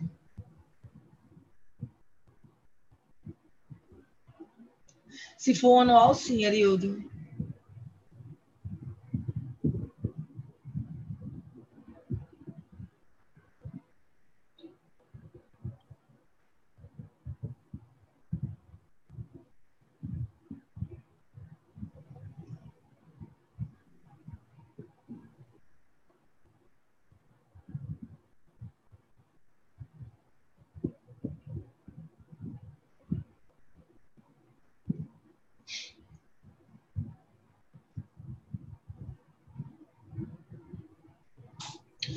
Tiago, quem comprar hoje na promoção ainda fica os 15 dias de espera, entendeu? Isso, isso só vai acontecer a partir de janeiro.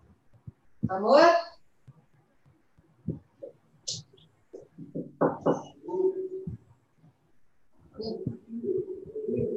Não.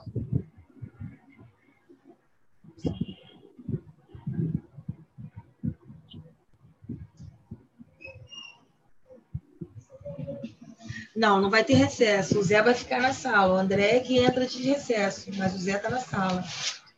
A sala não fecha, não. A sala vai ficar aberta.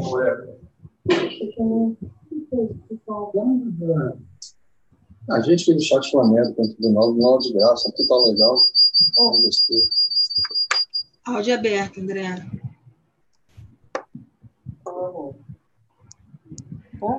Oi? André, o áudio está aberto.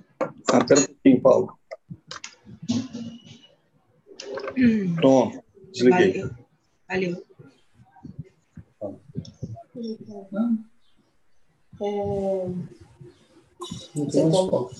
O seu áudio está aberto, André. Ainda está aberto? O seu tá, eu tô te ouvindo. Desligou não. Desliga aí. Ah, peraí, peraí. Vida gra. Oi. Oi, Ah, pra me linda. lembrar que eu Tudo tenho- bom? Já que a gente não se fala, tudo bem? Tudo bom? Vem, amiga. Amiga, vem logo pro Rio. Vem pro Rio, amiga. Festa, que eu só quero saber de festa. Ah, é minha debutante número um, gente. Tem que fazer festa.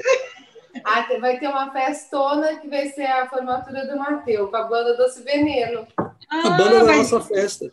É show de bola essa banda, gente. não é? Pô, Ah, tem que vir Rio. Quando é que vocês vêm pro Rio? Ah, então, vamos, não sabemos nada ainda. Só 22 horas do apartamento. Ninguém se programa nessa casa. Meu marido não fala comigo, ele só fala com essas telas, com esse microfone, com esse briga com todo mundo. E, eu, e ele não fala comigo, eu não consigo planejar nada. Tá na hora de planejar, André. Agora tá tirando nossas férias, cara. Né? Não, não, 2020 eu vou com, a, com o Zé na sala, realmente depois das 12h30 eu vou me desligar totalmente. Tá, agora eu só quero saber uma coisa. Ele tem uma época e um ecocardiograma para fazer hoje. Ele Sim, já vai vou, falou. Ele vai, ele vai fazer. Ah, bom, Óbvio. porque ele tá dando aula. Falei, Não, acabou, minha aula acabou. Agora acabou. A Paula que tá só tirando dúvida da galera. A aula Ah. acabou, tem 10 minutos. Então, tira a dúvida aí, Paula, de todo mundo. Não deixa ninguém ficar com dúvida. Tá bom, amiga. Explica, explica o que é bandeira, Ah, não. o Posso? é power Você... breakout. Ai, meu Deus. Cada um no seu quadrado, lado a lado. Ó, e depois a gente se fala, então, Tá tá? bom, amiga. Vou- Beijoca. Beijo, tchau. Tchau. Então, você pode parcelar no cartão, mas com juros. Ali, nós não estamos fazendo a tra trancando a matrícula, não. Tem como trancar a matrícula, não. O acesso começa quando, você, quando acabar o seu. Edmundo, tchau para você, hein?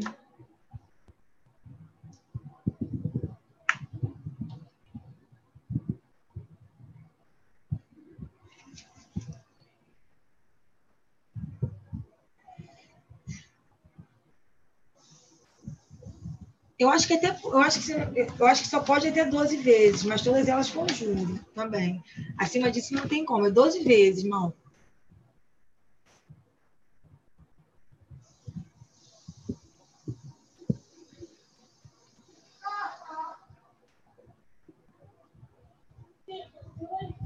Você tira na sala, Alex.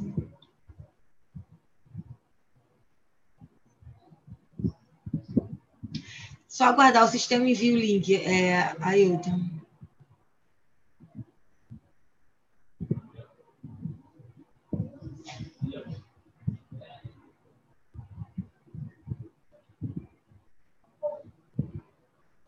Fabio, nós não temos renovação de seis meses, só de três meses e um ano.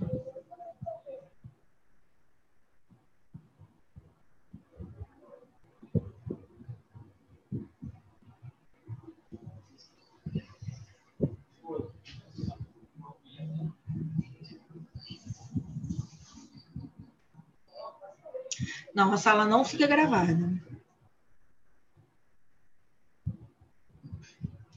Sim, Roya, você vai receber por e-mail.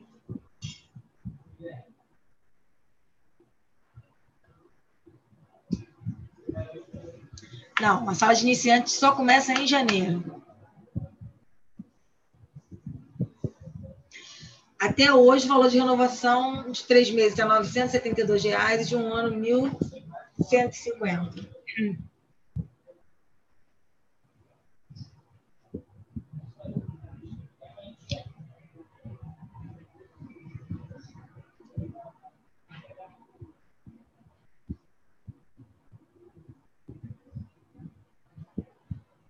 Não, não tem como. Não tem como adiantar nem adiar a entrada, o acesso à sala. Nada, Daniel. Essa aula, essa aula vai ficar gravada no canal do André. Gente, esse canal aqui a gente está usando só porque o do André levou um strike, mas o, o canal oficial do projeto é o do André, ok?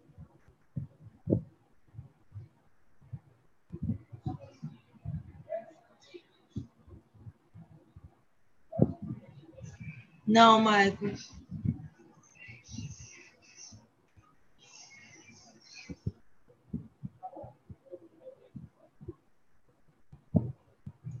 Não, tronco, não tem como. Como é que você vai comprar uma coisa que você ainda nem avaliou?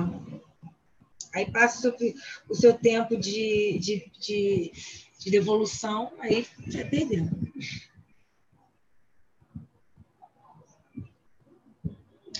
Depois dos 30 dias, você consegue renovar sim, virando mensalista da sala. Tamo junto, Daniel. Tamo junto.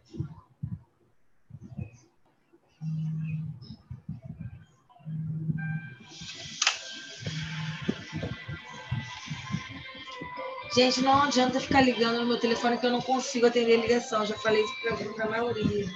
Valeu? Aí, eu falei, a pessoa até desligou. Tá, tá me ouvindo aqui. um ano de renovação tá 3,150.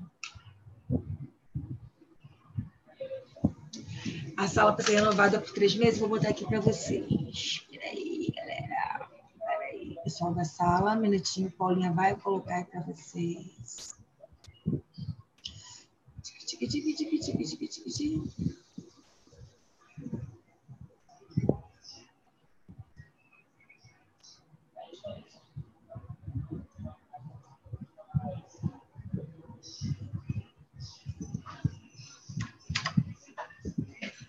Foi.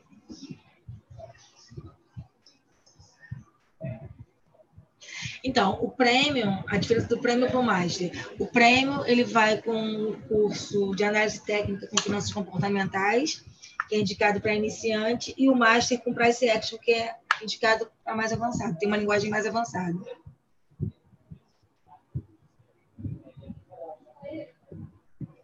Isso, Tiago, a partir de janeiro.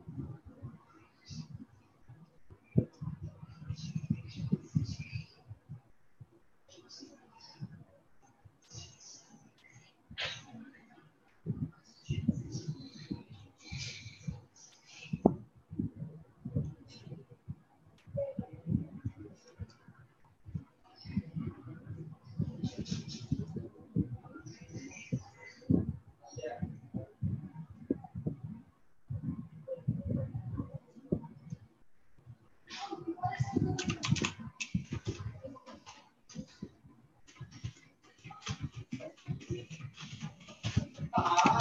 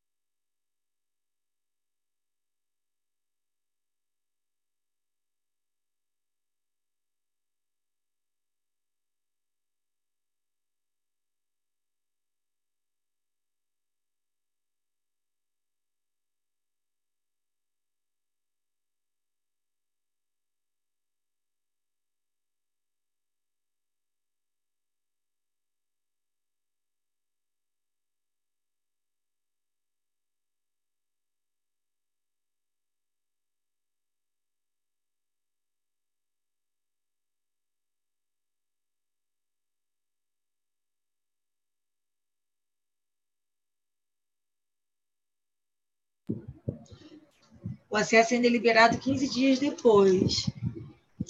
Só, só vai modificar na, na, a partir de janeiro. Você, você comprou e vai ser liberado logo depois.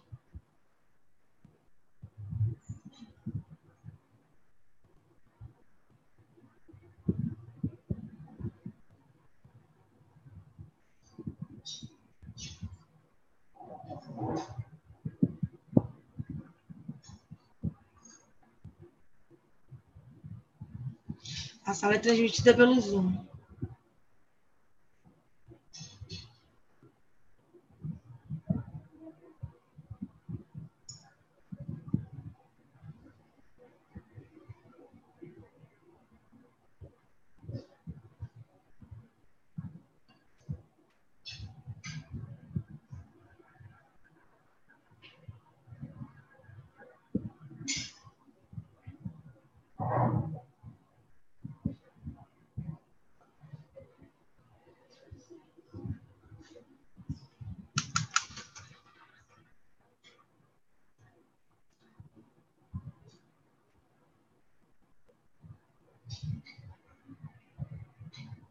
Tem no Profit, cara, Jackson, eu não sei te dizer não, mas no Profit eu sei que tem.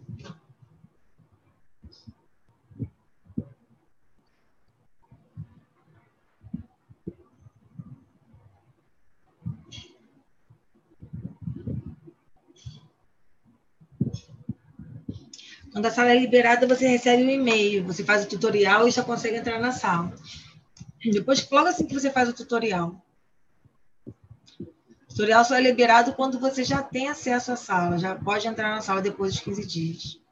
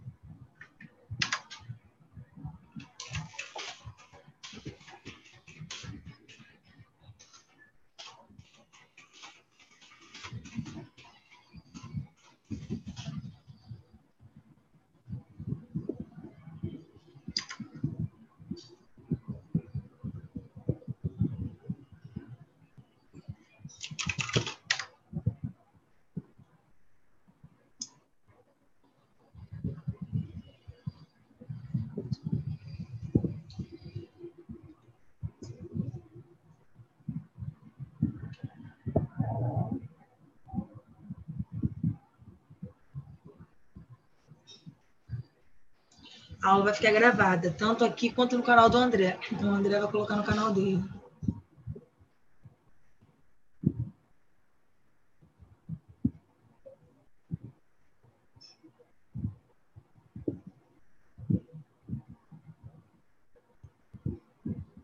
Sim, Valério ano que vem.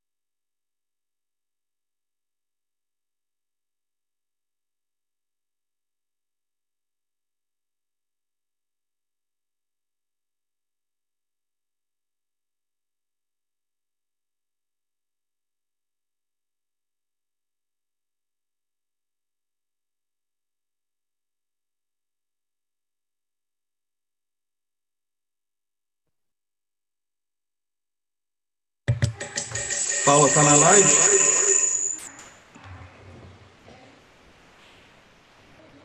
O câmbio. Não? Senão eu vou fechar. Ah, espera aí. Não tem ninguém? Já vou fechar para encerrar aqui o YouTube, o vídeo. E deixa eu ver se tem alguma pergunta que eu possa responder.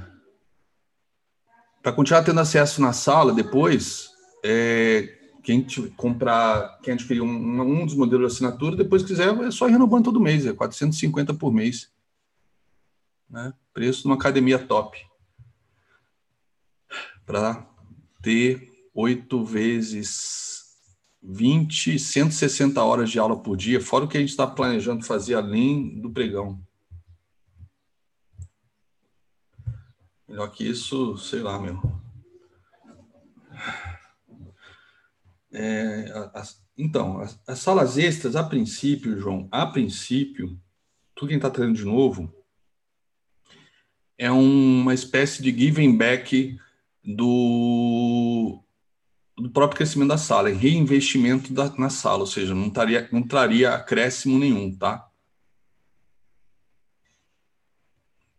Mas, tipo assim, tem muita coisa que eu ainda não negociei com as pessoas, já, já fecharam, porque eles estão tão loucos para super empolgados, né, para ficar participar do projeto ativamente como, como professor, enfim mas tem que acertar a parte financeira de todo mundo, mas a princípio a minha intenção era absorver isso até pelo próprio crescimento, né?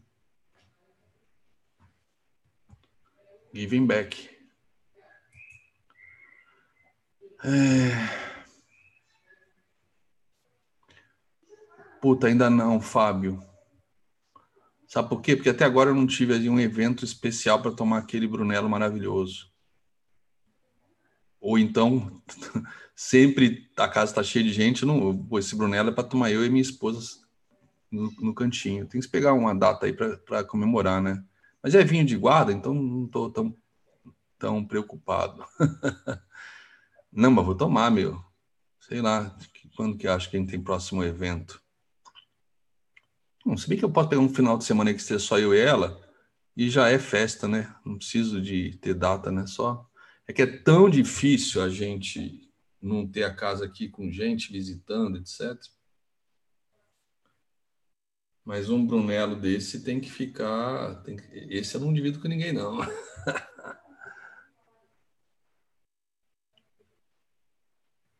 Ô, Jackson, obrigado, obrigado pelo feedback. É, o Dolinho agora, ó. Estamos trabalhando no pivô de, de hoje. O pivô de hoje foi no alvo 100%, ó, aqui. Ó. Topo, fundo, topo, perdeu fundo. Aí deu esse ruído aí de payroll, mas para mim não viabilizou o alvo, né? Pelo contrário, esse fundo aqui, né, é um alvo de 61.8. Se por acaso perder este fundo, eu tenho ainda este alvo aqui no dólar, ó. E olha que legal, este alvo no dólar é alvo de 100%, é alvo de 100% desse, quer dizer, então se perder este fundo aqui, ainda posso usar esse aqui inicial, fazer esse espelhamento e jogar um alvo final para o dia aqui, ó. Então seria esse aí, esse aqui seria um alvo final para o dólar hoje, tá? Se voltar a cair. Se voltar a cair. Tá? Mas aí tem as correlações com o índice, né? O índice tinha que também começar a subir, parar de cair e de repente voltar a subir. Para eu, eu, pelo menos, para operar com tranquilidade, eu gosto muito dessa confiança das correlações. Então, é, por enquanto, não temos correlação. É, por enquanto, os dois, o índice está caindo e o dólar querendo subir, querendo armar pivô de alta, está consolidando. Ah, então se romper, eu vou comprar? Puta, cara, se romper, ele pode subir lá em cima mas eu não sei como é que ela vai fazer, eu só sei o que, que eu faço. Eu não estou achando muito legal isso aí. Ele até pode estar tá fazendo um, um retângulozinho de correção, que a gente pode depois se romper e interpretar como um fundo, né?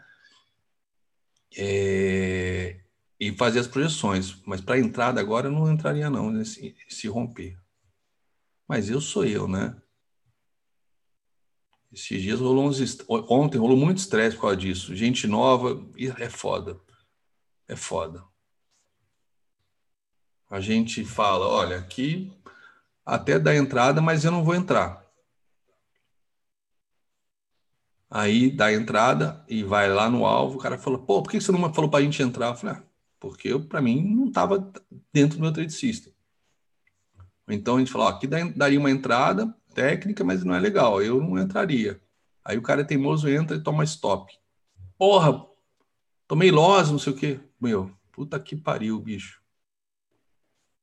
Lidar com gente é foda. Lidar com gente é foda. Vai ficar gravado, eu vou fechar a live agora.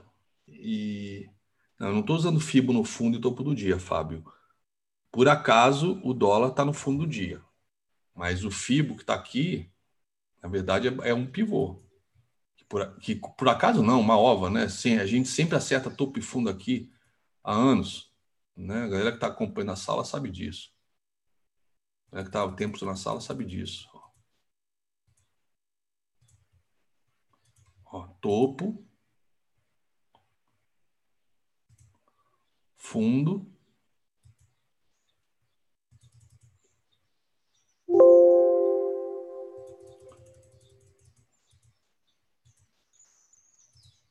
topo, fundo, né? Pronto, esse, esse fundo que eu estou projetando, ó. Tem topo, fundo e eu tenho um topo mais baixo. Perdeu fundo, pivô de alta, pivô de baixa, perdão. Pivô de baixa, tá aqui, projetado. 100% foi no alvo. Só que, claro, ninguém, se alguém estava vendido aqui antes do payroll, se fudeu. Aquela história, não tem que estar tá posicionado antes do payroll. Né? Mas, para efeito educacional, o movimento foi perfeito.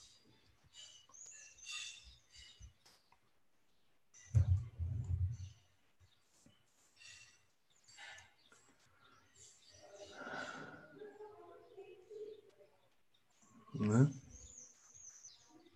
Bom, eu vim para fechar a live, não foi nem para.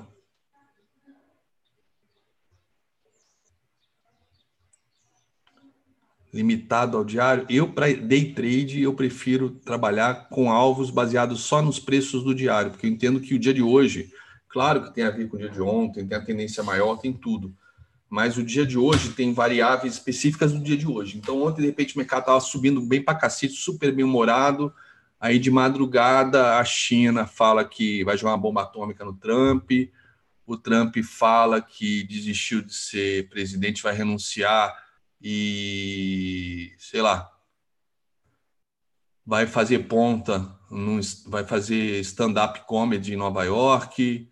É Acontece tanta coisa, meu, tantos indicadores financeiros, agora falando sério, que saem no meio da madrugada, Arábia Saudita com o OPEP, tanta coisa, que no dia seguinte pô, a gente pode ter um dia que não tem nada a ver com o anterior. Né? Ou simplesmente ó, não, tem, não saiu nada, mas pô, na véspera subiu para cacete, hoje o mercado quer corrigir um pouco, né? para poder comprar mais baixo, para depois subir de novo.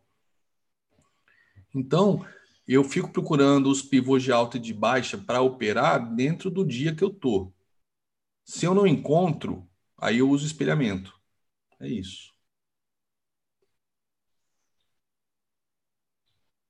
Tá vendo? Olha só que legal. Olha só o feedback do Isaac. Ontem falei que estava com sensação de fracasso. Lembra? Por ter levado, levado o violino várias vezes essa semana. Hoje tive um dia ótimo. Respeitei com disciplina o trade system e levei até meu alvo. E ainda fiz média a favor da tendência. Sensacional. Obrigado eu pela confiança, Isaac, por ter ouvido aí bate-papo que, que a gente teve ontem, né? É aquilo que eu falo, se fizer certinho, não tem como dar errado. O problema está entre o teclado e a cadeira. Né? O preço tem memória dos dias anteriores? Com certeza, Wanderson. Com certeza. Por isso que eu, eu, eu ainda trabalho, às vezes, com a retração dos dias anteriores. Né? Se eu estou dentro de, de, um, de, uma tendência, dentro do movimento de tendência anterior, se eu não estou dentro de um movimento de tendência anterior, eu acabo também usando uma projeção de vários dias, né? Mas como, mas como são vários dias, acaba sendo é, é, pivôs de 60 minutos, são bem maiores, então é mais estratégico. Mas ainda assim, é, quando eu tenho um pivô de FIBO no intraday, um espelhamento, a, a, minha experiência prática real de fazer isso todo dia, 17 anos, e vocês mesmo que estão aqui acompanhando, ver os alvos sendo atingidos diariamente, sei lá, 99% dos dias, cara, Suportes resistentes dos dias anteriores pode dar uma segurada? Pode. Mas se já armou um pivô, etc., pelo menos num alvo ele vai ter no primeiro alvo ele tem que ir. Pelo menos no primeiro alvo ele tem que ir.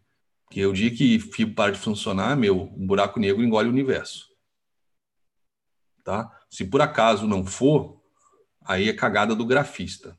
O grafista que desenhou o fibro errado esqueceu de outro fibro, como foi meu caso anteontem. Eu esqueci do fio maior, fiz só pequenininho, estava com gain de 8 mil, indo no, né? Só que estava esperando mais, sei lá, mais 10 pontos para baixo, e dali aonde exatamente onde foi meu gain, parou, ele voltou. Quê? Porque tinha outro fibo ali como alvo que eu não tinha, que eu não tinha puxado de um dia para o outro. Não atualizei o gráfico. Aí estava só com o fibo do dia. Né?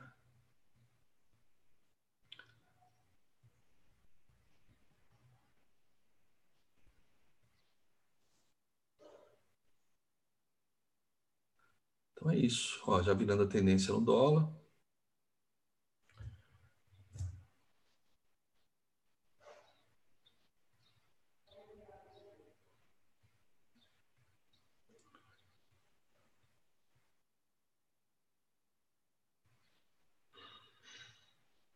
É, em forte tendência de alta, se por aí, se por aí, o mercado parar aí no FIBO de 50, que é onde ele para a maior parte das vezes, é onde está exatamente parado agora o o, o índice. Se ele parar aí e reverter e romper topo, aí você vai projetar o primeiro alvo, o rompimento desse 650 aí.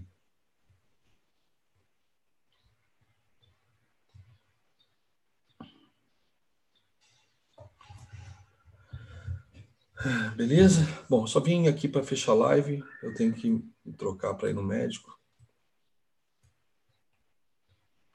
Aí de tarde eu passo, se vocês estiverem por aí umas três e meia, três e meia, quatro horas, eu dou um alô para vocês para desejar um bom final de semana para todos. E aí segunda-feira, caso contrário, segunda-feira a gente está aí na área de novo, se cair é pênalti, com o Gabigol batendo.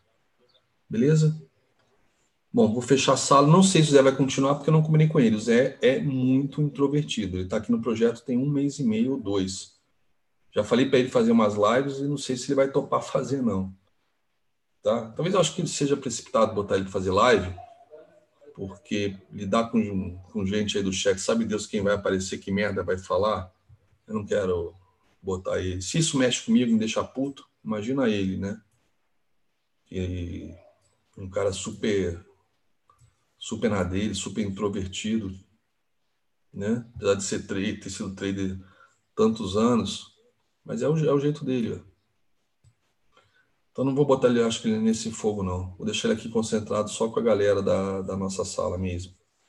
Já que eu talvez, já que eu não dei muita atenção de manhã. Mas foi o que eu falei, hoje era dia de payroll, não era dia de operar. Apesar de ter dado movimentos legais, etc., não interessa. Eu não, eu não penso no momento legal de agora. Eu queria que muito a galera da sala não pensasse.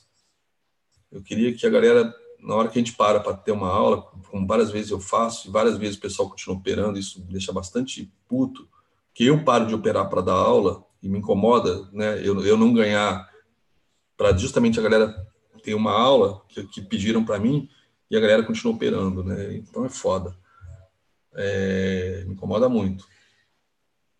Mas é, eu acho que a aula de hoje né, foi uma revisão de, de coisas para quem está começando, quem está na sala desde segunda-feira, né, e para a comunidade.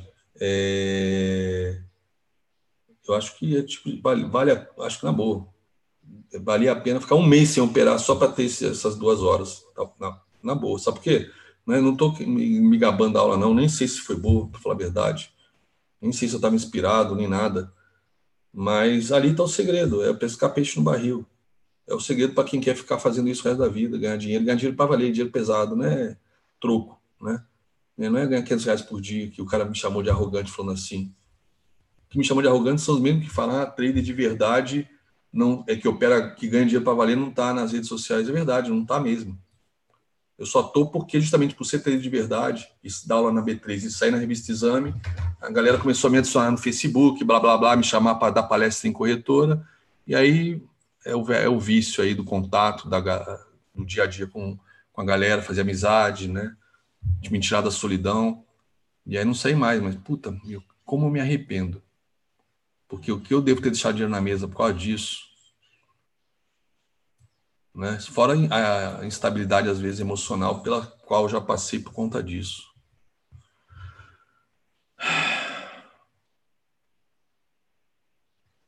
Ah, que bom que a aula foi legal. Bom, tô fechando a live. O Zé, duas e meia, tá na área. Se cair também é pênalti com ele, tá? Duas e meia em ponto, ele tá aqui como todos os dias, pontualmente, britanicamente. Nessa hora eu tô no médico e mais pro final da tarde eu apareço aqui para dar um alô para vocês. Beleza? Galera, Diogrupira que está ainda no chat, obrigado aí pela audiência. Desculpa aí o, as minhas ogrices. Galera da sala também, desculpa aí minhas ogrices de sempre, acho que vocês estão acostumados. Mas mesmo assim, desculpe, não acho que nada justifica ser ogro, mas eu sou, tenho, estou com 52 anos, vou continuar sendo. Eu não estou com a mínima vontade de fazer psicanálise para deixar de ser ogro. Se é que isso ajuda, né? Nem ficar tomando remédio para ficar calminho. Eu, eu gosto de ser assim, no final das contas. Acho que entre o meu saldo na vida é extremamente positivo sendo assim. Beleza?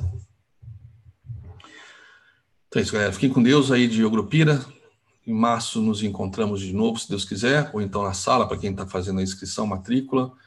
É, galera da sala, mais tarde eu estou na área, ou então segunda-feira a gente se fala. Beleza? Valeu!